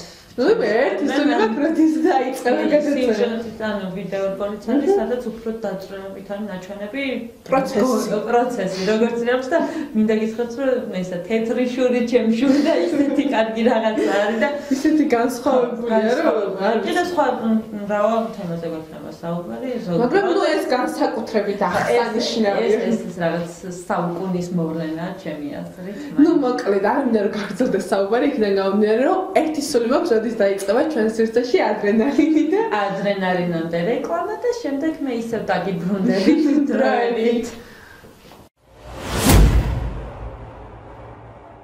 ამ არხის გადავხვევა და დაპაუზება უკვე ტელევიზორში შეგიძლია, უფასოდ. My Video TV Box-ით. ისინი, ვინც ფიქრობენ მომავალ თაობაზე. ისინი, ვინც мотиваციას უძლიერებენ ახალგაზრდებს. ახალგაზრდული პროექტები, სტიპენდიები, პროგრამები. კომპანიები, ორგანიზაციები, დაწესებულებები, რომლებიც ზრუნავენ ქვეყნის მომავალზე, რომლებიც გზავნენ ახალგაზრდების გვერდით, რომლებიც სტიმულს აძლევენ ახალგაზრდებს. ვაცნობთ მომავლის კომანდის შესახებ. გამოავლინეთ თქვენთვის რჩეული კომპანია. ჩვენი მუშაობით მათზე მთელი საქართველო შეიცვალა. ერთად გავიცნოთ ჩვენს ეთერში მომავლის კომანდი. მომავალ თაობაზე ზრუნვა ქვეყნის მომავალზე ზრუნვა.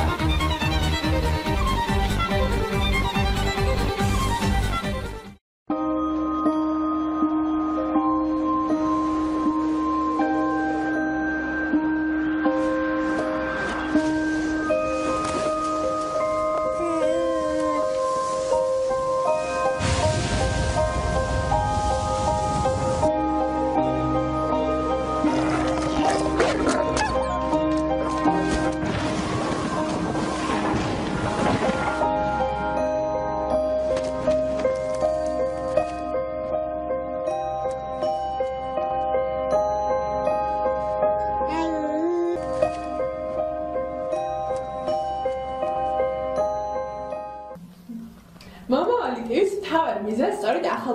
ახალგაზრდების მხარდაჭერა წარმოადგენს.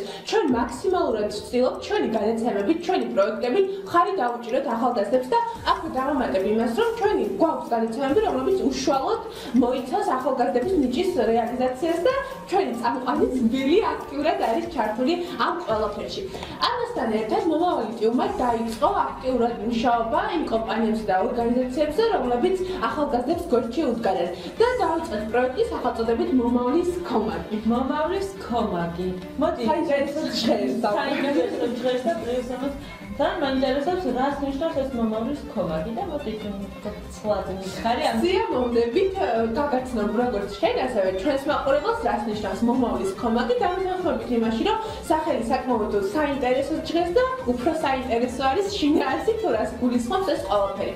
რეალურად ჩვენ სივრცეში არიან კომპანიები, ორგანიზაციები და დაწესებულებები, რომლებიც ახალგაზრდებს უდგნენ გვერდში და ძალიან ბევრ კარგ საქმეს აკეთებენ. თუნდაც სტიპენდიების სახით, თუნდაც სხვადასხვა დასაქმების პროგრამები და ასე შემდეგ. ანუ გვერდში უდგნენ გვერდში უდგნენ და მაქსიმალურად ცდილობენ, რომ ახალგაზრდების რეალიზაციას, ნიჭის რეალიზაციას და ასევე სხვა სახით გაუმართონ ხელი და ქალმოქმედებასაც ეწევიან ამ კუთხით ეს არის ყველაზე დიდი ქალმოქმედება და ყველაზე დიდი ინვესტიცია, როდესაც ეხმარები ახალგაზრდას, ამით ქმნი უკეთეს მომავალს. მე ასე მგონია ყოველ შემთხვევაში. ძალიან ბევრი შემთხვევაც ვიცი, მინდა გითხრა, რომ არის კომპანიები და ასე შემდეგ, რომლებიც ეხმარებიან აა ნიჭი ერთაობას, რაღაცა რო აქვს გასაკეთებელი და რო ჯერათ ამას და ამიტომ მადლობასაც უხდით ხოლმე ყოველთვის და ეხლა უკვე საერთოდ მასშტაბური იქნება ეს ყველაფერი და ვირი სხვათა შორის არიან კომპანიები რომლებიც არ ჩანენ. შეიძლება ჩვენ ვიცით ვიწრო წრეში რომ ჩვენს მეგობარს ან თუნდაც ჩვენი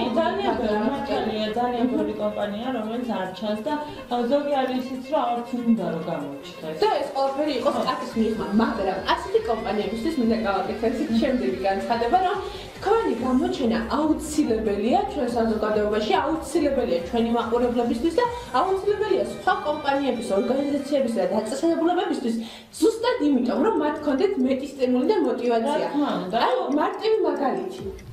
შენ ხარ ბილი, რომელსაც გაქვს კომპანია სახელწოდებით ბილი, მაგივად რომ აუხსნათ მაყურებელს აუხსნათ და აკეთებ ძალიან ბევრ კარგ საქმეს. მაგრამ არ გინდა გამოჩენა. მე შენთან მოვდივარ და გეუბნები რომ უნდა გამოჩნდე, იმიტომ რომ ჩემს ვიღაცის კომპანია სახელწოდებით ნარდა ძალიან უნდა რომ გააკეთოს კეთილი საქმე და ეს ყოფილი გამოაჩინოს, მაგრამ ამისთვის სჭირდება მოტივაცია და მოტივაცია ამ შემთხვევაში შენი კომპანია იქნება იმით რომ შენ გამოდიხარ და აჩვენებ, რომ ამ საქმეს გააკეთებ და ჩემთვის ეს დიდი მოტივაცია რომ მეც გავაკეთებ და მეც გამოვაჩინე ამ კი, ნამდვილად მოტივაცია ერთი და მეორე ის რომ უფრო დიდ სტიმულს მიწვა ალბათ სხვა კომპანიებსაც რომ უფრო და უფრო მეტი გაკეთდეს ახალგაზრდებისთვის, უფრო და უფრო წინ წავიდნენ ახალგაზრდები მათი დახმარებით.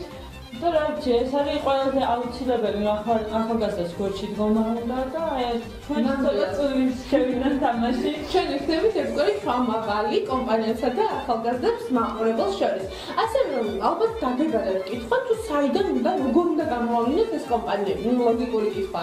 გისმენს მაყურებელი და აინტერესებს მაყურებელს რა სახით შეიძლება ამ კომპანიებს გავაკითხარი რა ნუ მოკლედ ძალიან მარტივად ჩვენს მაყურებელს აქვს საშუალება ჩვენს გვერდზე მომავალი ტივი წერტილი ქონ როგორ მიყვარს საიტი მე ძალიან მიყვარს ხშირი სტუმარი ვარ და იმედი მაქვს რომ თქვენ აქტიურად დაგდევნებთ თავს გვესტუმროს და მოგწეროს აი ესე მარტივად კომპანია რომელიც დაკავებულია ეს ახალგაზრდების მხარდაჭერი გაგიგია გაგიგია. ან პრაქტიკულად ჩვენ გადავხდენია რაიმე ისტორია რატომაც არა. გვეხმარება და ნუ გავაგებინებთ ამის შესახებ ინტერესის სფერო რაც არის შესაბამისად არის ახალგაზრდები და ახალგაზრდული საქმიანობა და რა სახით ეხმარება ახალგაზრდებს. სტიპენდიებია, პროგრამებია, დასაქმების პროექტებია და ასე შემდეგ. ჩვენ ამ ყველაფერს აუცილებლად განვიხილავთ, აუცილებლად დავინტერესდებით და უკვე მომავლის კომაქში მასშტაბურად მთელი საქართველოს შეიტყოთ იმ კომპანიის ორგანიზაციისა და დაწესებულების სახელს, რომელიც ზრუნავს მომავალზე. რა თქმა უნდა, მომავალს და მომავალ თაობას და საერთოდ ახალგაზრდებს და აინტერესებს ახალგაზრდები რაც თავარია. ანუ მნიშვნელოვანია ამ ეტაპზე ზუსტად ის, რომ ჩვენ თქვენი მხარდაჭერით გამოვავლინოთ კომპანიები და სხვა კომპანიებსაც მივცეთ სტიმული, რომ აკეთოთ კარგი აქტიურად გამოგვიგზავნოთ რა ისტორიაც თუ გაგიგიათ რომ აი ამ ამ კომპანიამ თქვა დაეხმარა მაგალითად ნანას.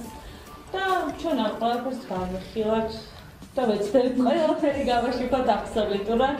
მაქსიმალურად ინფორმაცია მივაწოდოთ დეტალურად მაყურებელს და თქვენ დამეთანხმებით იმაშიც რომ ეს იქნება სტიმული არა მხოლოდ კომპანიებისთვის არამედ ახალგაზრდებისთვისაც რომ არსებობს ასეთი კომპანია რომელიც იმ შემთხვევაში თუ გექნება მაღალი აკადემიური მოსწრება გაფინანსებს ან გიშვებს საზღვარგარეთ წასვლა. კი რა თქმა უნდა მე უფრო დიდი სტიმული მექნება ისედაც მეგონება რომ უფრო გავაკეთო რაღაცა დამიფასდება ამით. და ყველაფერი ჩემი თუნდაც წვარება, თუნდაც ენერგია დიოს, სპორტს და ვიღაცა შენ აღნიშნავს რომ იცი რა ეს ღირს. და ეს მნიშვნელოვანია ახალგაზრდების მსგავსი წახალისა და ჩვენ უკვე აღნიშნავთ დიდი ხანია რომ ჩვენ ტელევიზია პოზიტივზე მუშაობს და ეს ერთგვარი ყველაზე ერთ-ერთი ყველაზე დიდი პოზიტივი იქნება ჩვენგან ჩვენი ახალგაზრდებისთვის და კომპანიებისთვის რომლებიც ძალიან მაგარ საქმეს აკეთებენ ნამდვილად მომავლის კომანდი მოკლედ იწყებს აქტიურად მოღვაწეობას თქვენ თქვენთან ერთად თქვენი ჩართულობით ან მაქსიმალურად იმედი გვაქვს რომ მაქსიმალურად ჩაერთვებით ამ პროექტში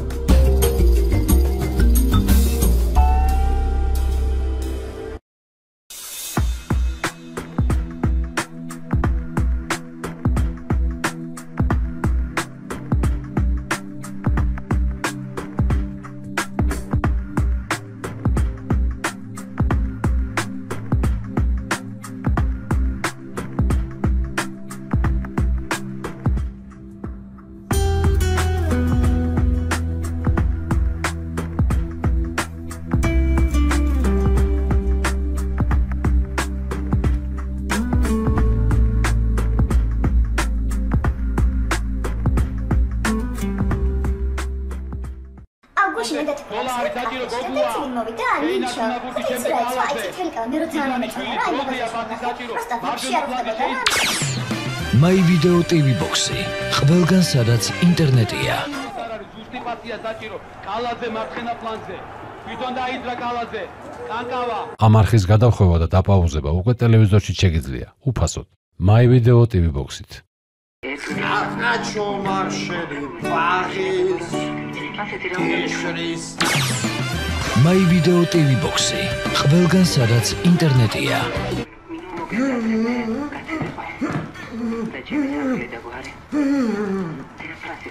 სიმართლე შიდსზე. ვირუსის გადაცემის რისკი პრაქტიკულად ნულოვანია. უფასო HD რესივერი სახში მიტანით. აზზე მეტი ქართული, რუსული და სხვა უცხოური მაღალ რეიტინგული არხი. მაგარი ტელეფონი 205 41 51 sky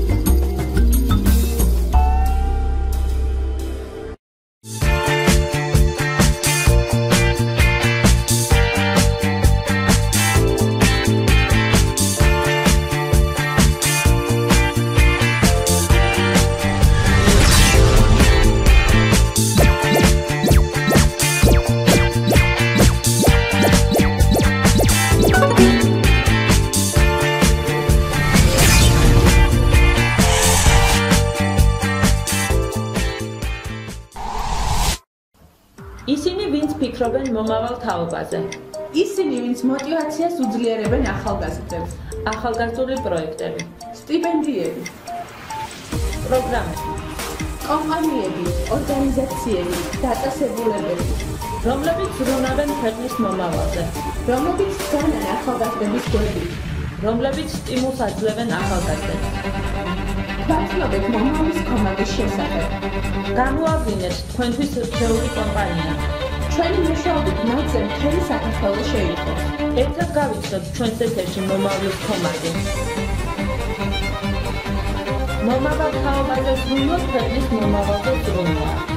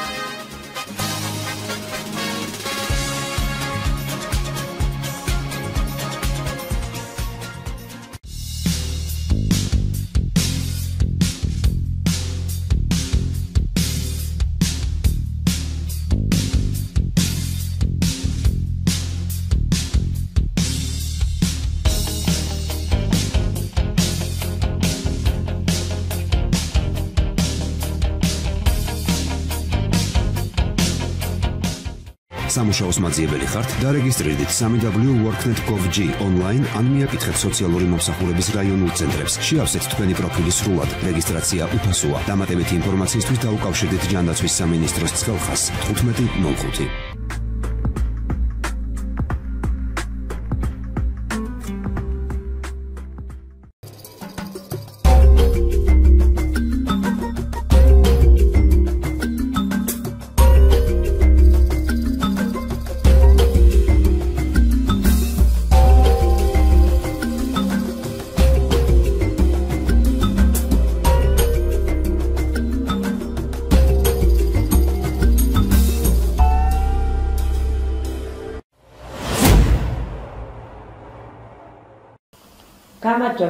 ადრენალინია, მე კი მისი წამყვანი ბილი ვარ. დღეს შემდეგ სიახლეებს შემოგთავაზებთ სკეიტბორდისტები აგროვებენ პეტიციას, რომ სკეიტბორდინგი გახდეს ოლიმპიური სპორტი. 5000-ზე მეტი გაბრაზებული სკეიტერი აგროვებს პეტიციას. სკეიტბორდინგის რეკომენდაცია გაუწეს გასულ თვეში, რომელიც უნდა გამختارიყო ნაწილი თამაშების 2020 წელს ტოკიოში. ნახოთ ვიდეო რგოლი.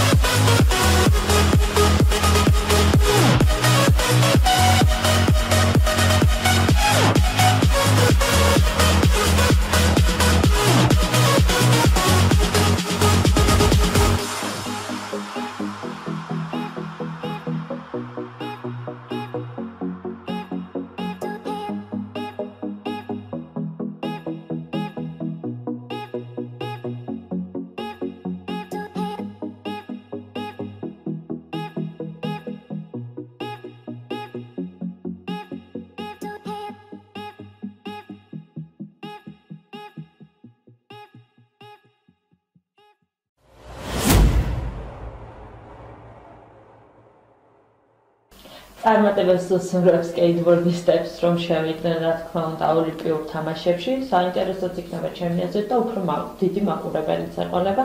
შემდეგ ნიუს გაგაცნობთ ევერესტი. ფილმი ყველაზე მაღალი მთიდან. ევერესტი ეს არის 3D ბიოგრაფიული სათავგადასავლო ფილმი, რომლის რეჟისორი ბალსტარ კომაკურია, სცენარის ავტორი კი უილიამ ნიკოლსონი და სიმონ ბიუი.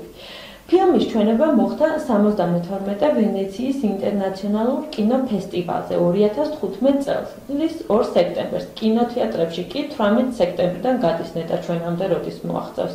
რაც შეეხება ფილმის მოკლე შინაარს, ის მოგვითხრობს 1996 წელს ექსპედიციის შესახებ, როდესაც მთასწორების ორმა ჯგუფმა სცადა სოფლიოს უმაღლესი მწვერვალის დაპყრობა.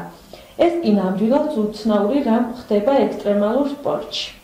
და მინდა გითხრათ, რომ საინტერესო იქნება ექსტრემალებისთვის ეს ფილმი, მოუთმენლადელია, როგორც ვიცი, რომ საქართველოში გამოვიდეს კინოთეატრებში, იმედი მაქვს ყოველ შემთხვევაში გამოვა. ეხლა კი ნახოთ ვიდეო რგოლი ამ ფილმის შესახებ, მოკლედ ტრეილერი.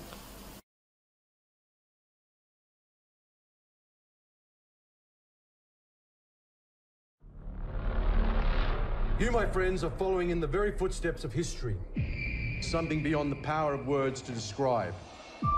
Human beings simply aren't built to function at the cruising altitude of a 747.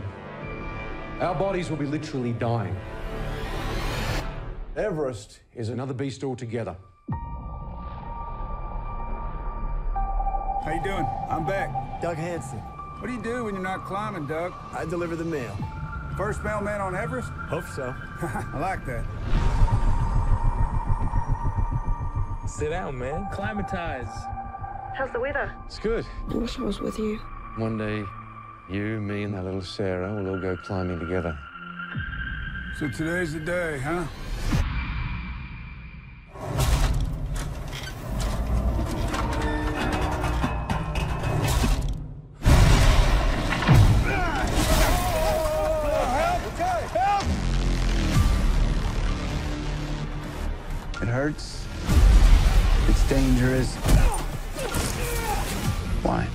Kids. They see a regular guy can follow impossible dreams, maybe they'll do the same. Oh, I'm on the top of Everest, Helen. We made it. Go to Rob. There is a massive storm headed your way. Oh no.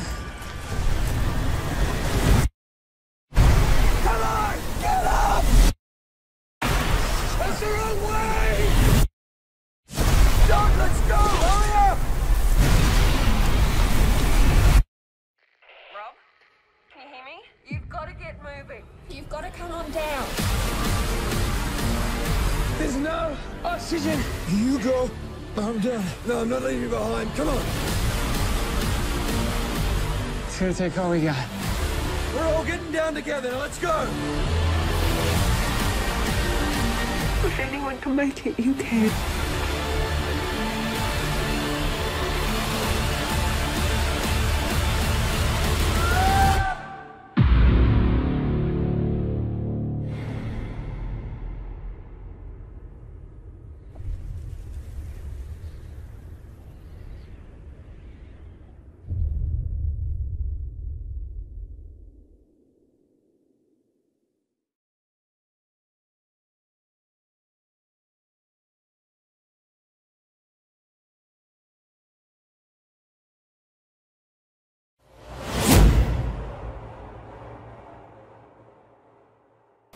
უცნაური რამ ხდება ექსტრემალურ სპორტში საერთოდ. ვინას არ გამოიგონებს ხოლმე, ვინას არ აკეთებს, ზოგი როგორ ხსნის რეკორდ, ზოგიც როგორ.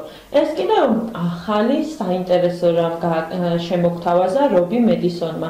ექსტრემალი რობი მედისონი ოცნებას იხდენს, როგორც თვითონ ამბობს სხვადასხვა ინტერვიუში და თავისი ჭუჭყიანი ბაიკით დაიწყო სერფერობა. ნუ ის დიდ ტალღებში ეგრეთ წოდებული კროსის მოტოციკლეთით შედის. დანარჩენს უყურეთ ვიდეოში. საინტერესოა ალბათ, ჩემი აზრით, ორი ბორბლით როგორ სერფერობს ადამიანი დიდ ტალღებში. მე ისევ დავფრონტები.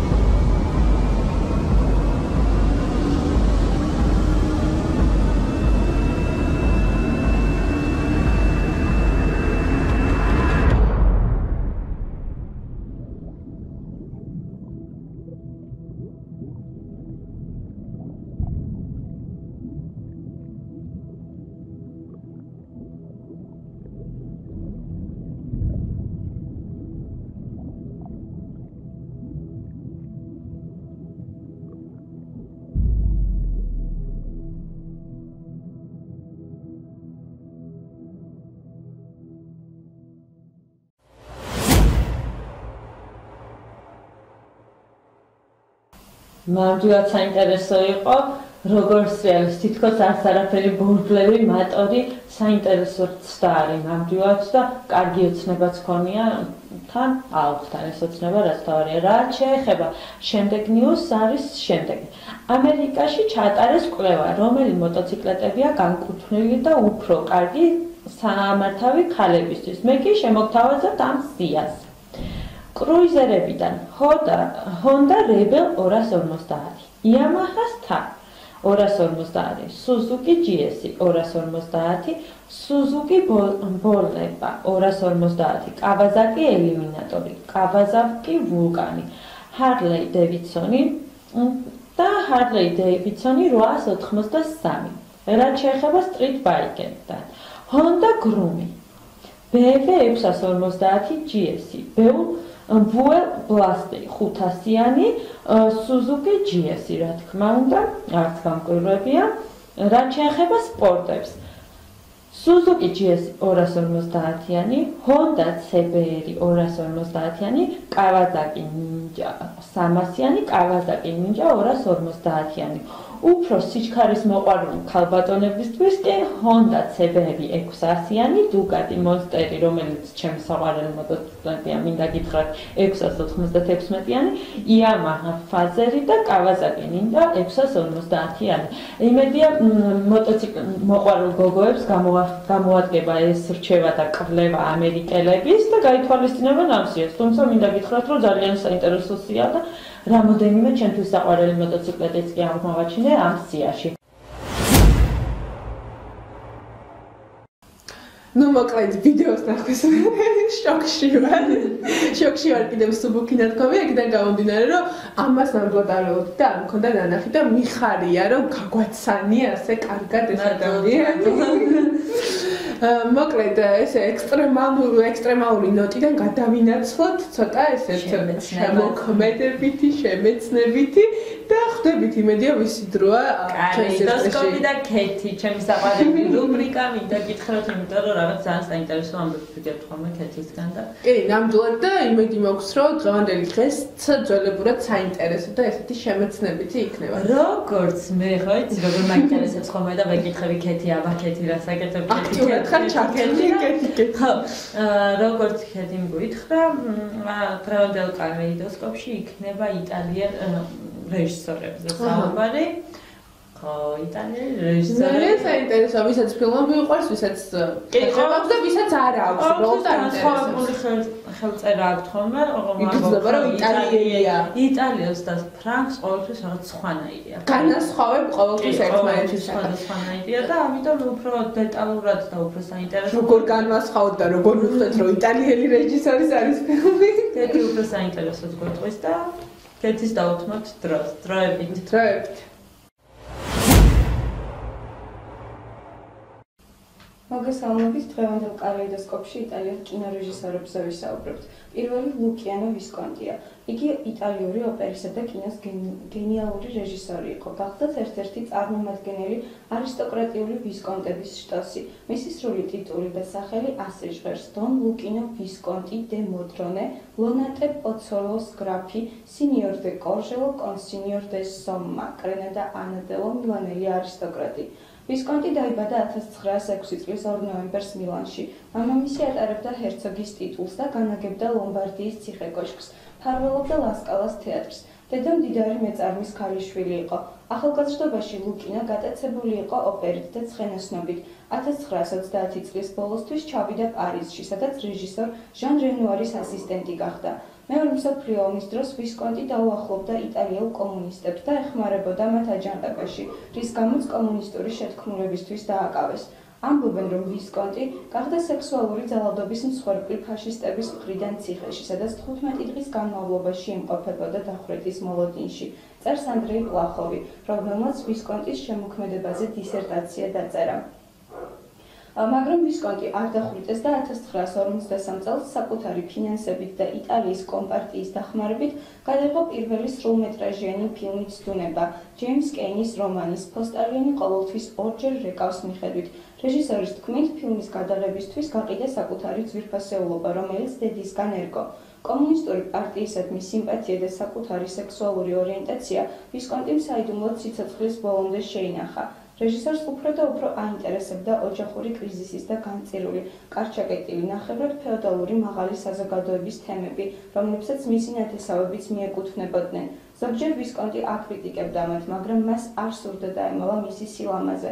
ვისკონტის წვერვალად ითვლება ჯუზეპე ტომას დე ლამპედუზას რომანის ლეოპარდის ეკრანიზაცია, რისთვისაც 1963 წელს კანის კინოფესტივალის ოქროს რტო დაიმსახურა. კამეთი გამოიწვია მისმა გერმანიის ტრილოგიამ, სადაც რეჟისორმა პირველმა ხმამაღლა ისაუბრა ერსქესიანი სიყვარულისა და ინცესტის თემებზე. ლუკიანო ვისკონტი 1976 წელს გარდაიცვალა. მიქელანჯელო ანტონიონი დაიბადა ქალაქ ფერარაში 1912 წლის 29 სექტემბერს. დაამთავრა ბოლონიის უნივერსიტეტი ეკონომიკის ბაკალავრის ხარისხით. 1929 წელს მუშაობა დაიწყო რომში. რეჟისორული დებიუტი ანტონიამ 1942 წელს დოკუმენტური ფილმით ადამიანი დინარე პოდან დაიწყო. მისი პირველი გამორჩეული ფილმი იყო მეგობრები, რომელიც 1955 წელს ვერცხლის ლომით დაჯილდოვდა. მის შემოქმედებას ეკუთვნის ეგზისტენციალური ტრილოგია თავგადასავალი ღამე და დაბნელება. ფილმი ღამე ოქროს დათვით დაჯილდოვდა, ხოლო თავად ანტონინიმ დავით დიტონატელოს პრემია მიიღო საუკეთესო რეჟისურისთვის. ანტონინმა გადაიღო ასევე ზაბრისტი პოინტი, რომლის მუსიკა Pink Floyd-ს ეკუთვნის და პროფესია რეპორტიორი ჯეკ ნიკოლსონის მონაწილეობით. ფილმი წითელი უდაბნო 1964 წელს ვენეციის კინოფესტივალზე ოქროს ლომით დაჯილდოვდა, ხოლო ფილმი ფოტოგადიდება კანის კინოფესტივალის ოქროს პალმის შტოს მფლობელი გახდა. ფილმმა დიდი გავლენა მოახდინა კინემატოგრაფიის შემდგომ განვითარებაზე. რაულ ფილმში შეიძლება ფოტოგადიდების გავლენის დანახვა, თუმცა ორიგინალთან ახლოს ვერც ერთი ვერ მივა. ერთადერთი ამ მხრივ საინტერესოა კინკი დუკის რეალური წარმოსახვა. კინორეჟისორი ყურადღებას ყოველთვის ადამიანებს შორის კომუნიკაციის პრობლემებზე პრობლემებზე ამახვილებდა. მისი მუზემსახიობი მონიკა პიტი იყო. ამ უკანასკნელს რამდენიმე მთავარი როლი აქვს შესრულებული ანტონიონის ფილმებში. მიქელანჯელო 2007 წლის 30 ივლისს გარდაიცვალა. პიერ პაოლო პაზოლინი იტალიელი პოეტი, ინტელექტუალი, კინორეჟისორი და მწერალია, რომელიც 1922 წლის 5 მარტს დაიბადა. პაზოლინი იყო გამორჩეული ფილოსოფოსი, ლინგვისტი, რომანისტი, დრამატურგი, კინორეჟისორი, გაზეთების და ჟურნალების მესვეტე. მან სახელი გაითქვა ფილმებით აკატონე, მათეს სახარება, დეკამერონი, კენტერბერიული მოთხრობები. პაზოლინი საკუთარ თავს კათოლიკე მარქსისტს უწოდებდა. თავისი შემოქმედებით თანამედროვე საზოგადოებაში გემოვნების უქონლობაზე მიუთითებდა. მისი მეგობარი მწერალი ალბერტო მორავია მას მეოცე საუკუნის მეორე ნახევრის დიდ იტალიელ პოეტს უწოდებდა. პიერ პაოლო პაზოლინი დაიბადა მემარცხენე პოლიტიკური ორიენტაციით გამორჩეულ ქალაქ ბოლონიაში. პაზოლინის მამა ფაშისტი იყო. მოგვიანებით პაზოლინი აღნიშნავდა, რომ თავის ფილმში ოიდიპოს მეფე საკუთარი წინააღმდეგობებით აღსავსე ბავშვობა აღწერა. პაზოლინის ოჯახი წარმოშობით იტალიის ჩრდილო-აღმოსავლეთის მხრიდან, ფრიულიდან იყო, სადაც ადგილობრივი მოსახლეობა ძირითადად რეტორომანულ დიალექტზე, ფრიულანოზე მეტყველობს. მოგვიანებით პაზოლინიმ საკუთარი გამოხატვის ფორმად რომის გარეუბნების უხეში ენა აირჩია. ბავშვობის დიდი ნაწილი მან დედამისის მშობლიურ მხარეში, კაზარსა დელა დელიციაში, ვენეციის ჩრდილო-აღმოსავლეთით გაატარა. ამ პერიოდში ის დაინტერესებული იყო ამ რეგიონის დიალექტით. 1927 წელს პაზოლინი მშობლიურ ქალაქს დაუბრუნდა და ხელოვნების ისტორიის და ლიტერატურის შესწავლა დაიწყო ბოლონიის უნივერსიტეტში. ამ ხანებშივე დაიწყო სტატიების გამოქვეყნება პოლიტიკურ და ლიტერატურულ ჟურნალ არქიტრავეში და წერდა ლექსებს ფრიულურ დიალექტზე. პაზოლინის ლექსების პირველი კრებული ვერსი აკასარსა საკუთარი ხარჯით 1942 წელს გამოსცა. მასში დიდი სიყვარული გამოხატა მშობლიური ენის, ფრიულური ბუნების და მისი მცხოვრებლების მიმართ. პაზოლინი 1975 წლის 2 ნოემბერს გარდაიცვალა. და ბოლოს ვინ? თუ არა ფედერიკო ფელინი. იგი 1920 წლის 20 იანვარს იტალიის ქალაქ რიმინში დაიბადა. ბავშვობაში ფელინი ფელინი გატაცებული იყო ცირკით და ამასთან ერთად გაიპარაკიდეს. მოგვიანებით ფელინიმ აღნიშნა, რომ არა რომ თუ კი ის არ გახდებოდა რეჟისორი, აუცილებლად იქნებოდა ცირკის დირექტორი. და ეს ყველაფერი მის დამოკიდებულება ცირკისადმი განსაკუთრებით ჩანს ფილმში ჯამბაზები. ფელინი 1937 წლიდან მუშაობდა ჯერ ფლორენციაში, შემდეგ კი რომში ჟურნალისტად. კინოში მისი მისვლა რობერტო როსელინის დამსახურებაა. როსელინის მოეწონა იმ ხანით კარიკატურისტი ფელინის მიერ დახატული შარჟი და მას სცენარისტობა შესთავაზა. მოგვიანებით ფელინი აღნიშნა, რომ არა როსელინი იგი შესაძლოა ცირკის დირექტორი გამხდარიყო და არა კინორეჟისორი. ფელინის პირველი წარმატებული ფილმი იყო გზა.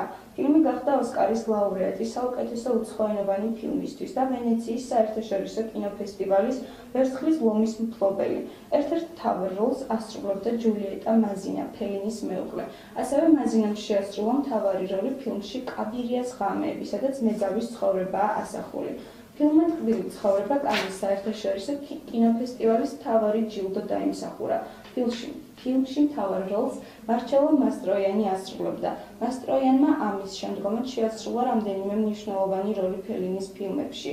ფილმში გაკრიტიკებული იყო ბურჟუაზია, ეკლესია, მაღალი საზოგადოება, მათი ტკბილი თუმცა უშინაარსო ცხოვრება. ფილმის ჩვენებამ კანის კინოფესტივალზე გააღიზიანა საზოგადოების ნაწილი. მათ ფელინის ბოლშევიკი უწოდეს. ტკბილი ცხოვრება ფელინის მერვე ფილმი იყო. მეცხრე ფილმის გადაღებისას კი შემოქმედებით კრიზისში აღმოჩნდა, თუმცა მან მოულოდნელი გამოსავალი იპოვა.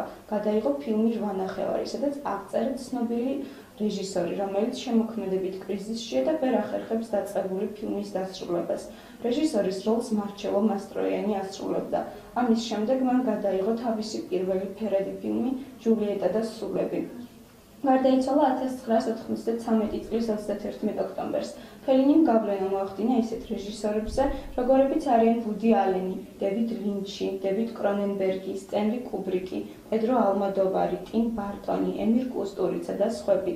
ფელინი არის იტალიის ყველაზე დიდი ჯილდოს, დიდი ჯვრის ორდენის კავალერი.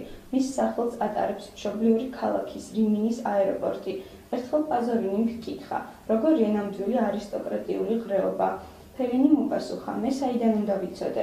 კი, მაგრამ ფილმებში ისეთ დეტალურად იღებ ხოლმე და ახლა მეუბნები, რომ წარმოდგენა არ გაქვს, მე რეჟისორი ვარ, რომ შევქმნა და არა კონსტანტირება მოვახდინო რაიმესი.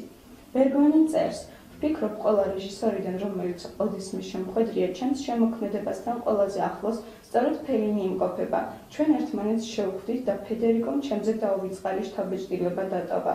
თავის ციგნში ბერმანი არ აღნიშნავს იმას, რომ მას და ფელინის პროდიუსერებმა დაუკვეთეს ერთობლივი ფილმი იესო, რომელიც შემდეგ იმავე პროდიუსერების გადაწყვეტილებით ფრანკო ზეფირელიმ გადაიღო. ახლა კი თავაზობთ ნაწყვეტს 1993 წლის ოსკარების დაჯილდოებიდან ლეგენდარული რეჟისორისა და მსახიობების მონაწილეობით. I thought the two times the Academy honored me with the Oscar were the happiest and proudest and most emotional moments an actor could have. Now I know I was wrong because tonight I'm filled with the same happiness and the same pride and the same emotion because we are honoring a dear friend who is a towering force in movie history. In addition to being a great artist, is also a fellow country, countryman, Federico Fellini.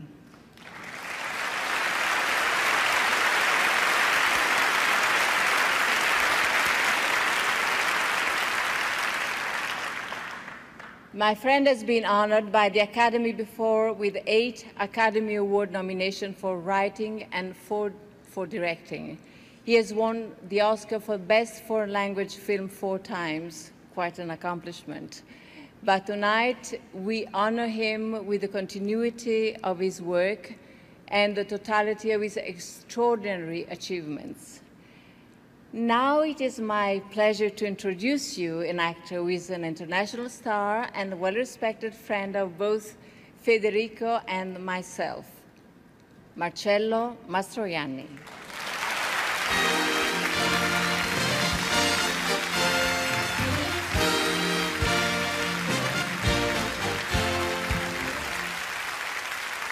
Thank you. Thank you.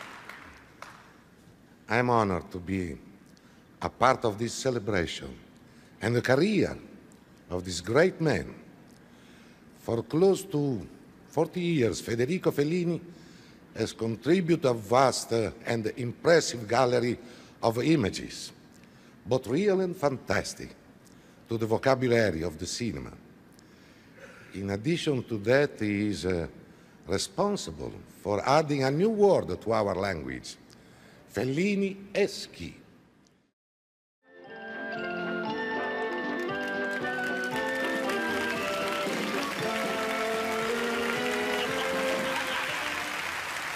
Ladies and gentlemen, Federico Fellini.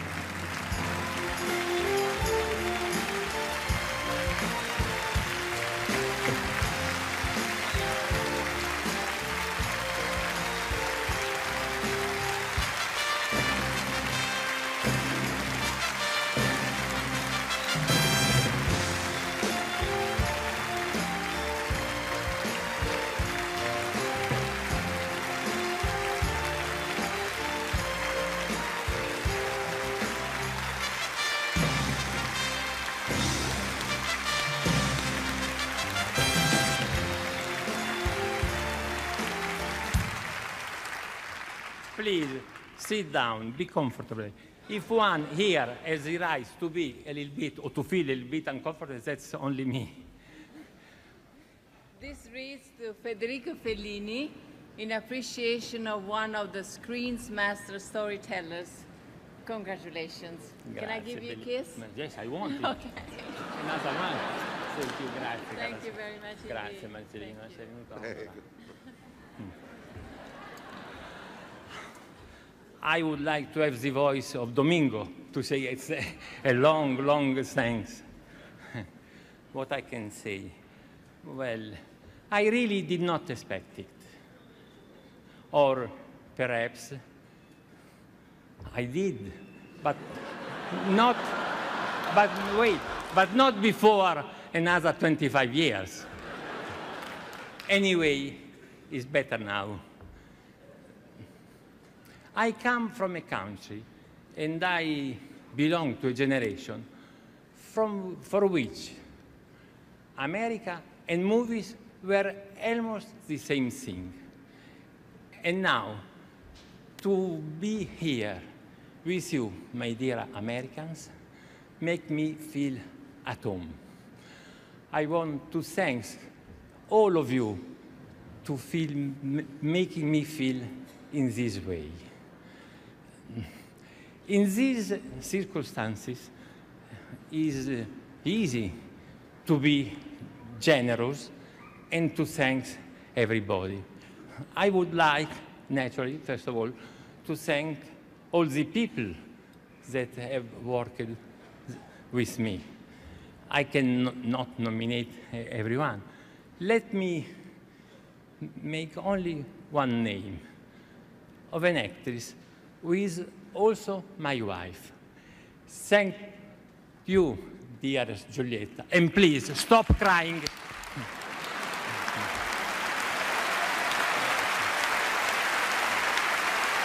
Grazie.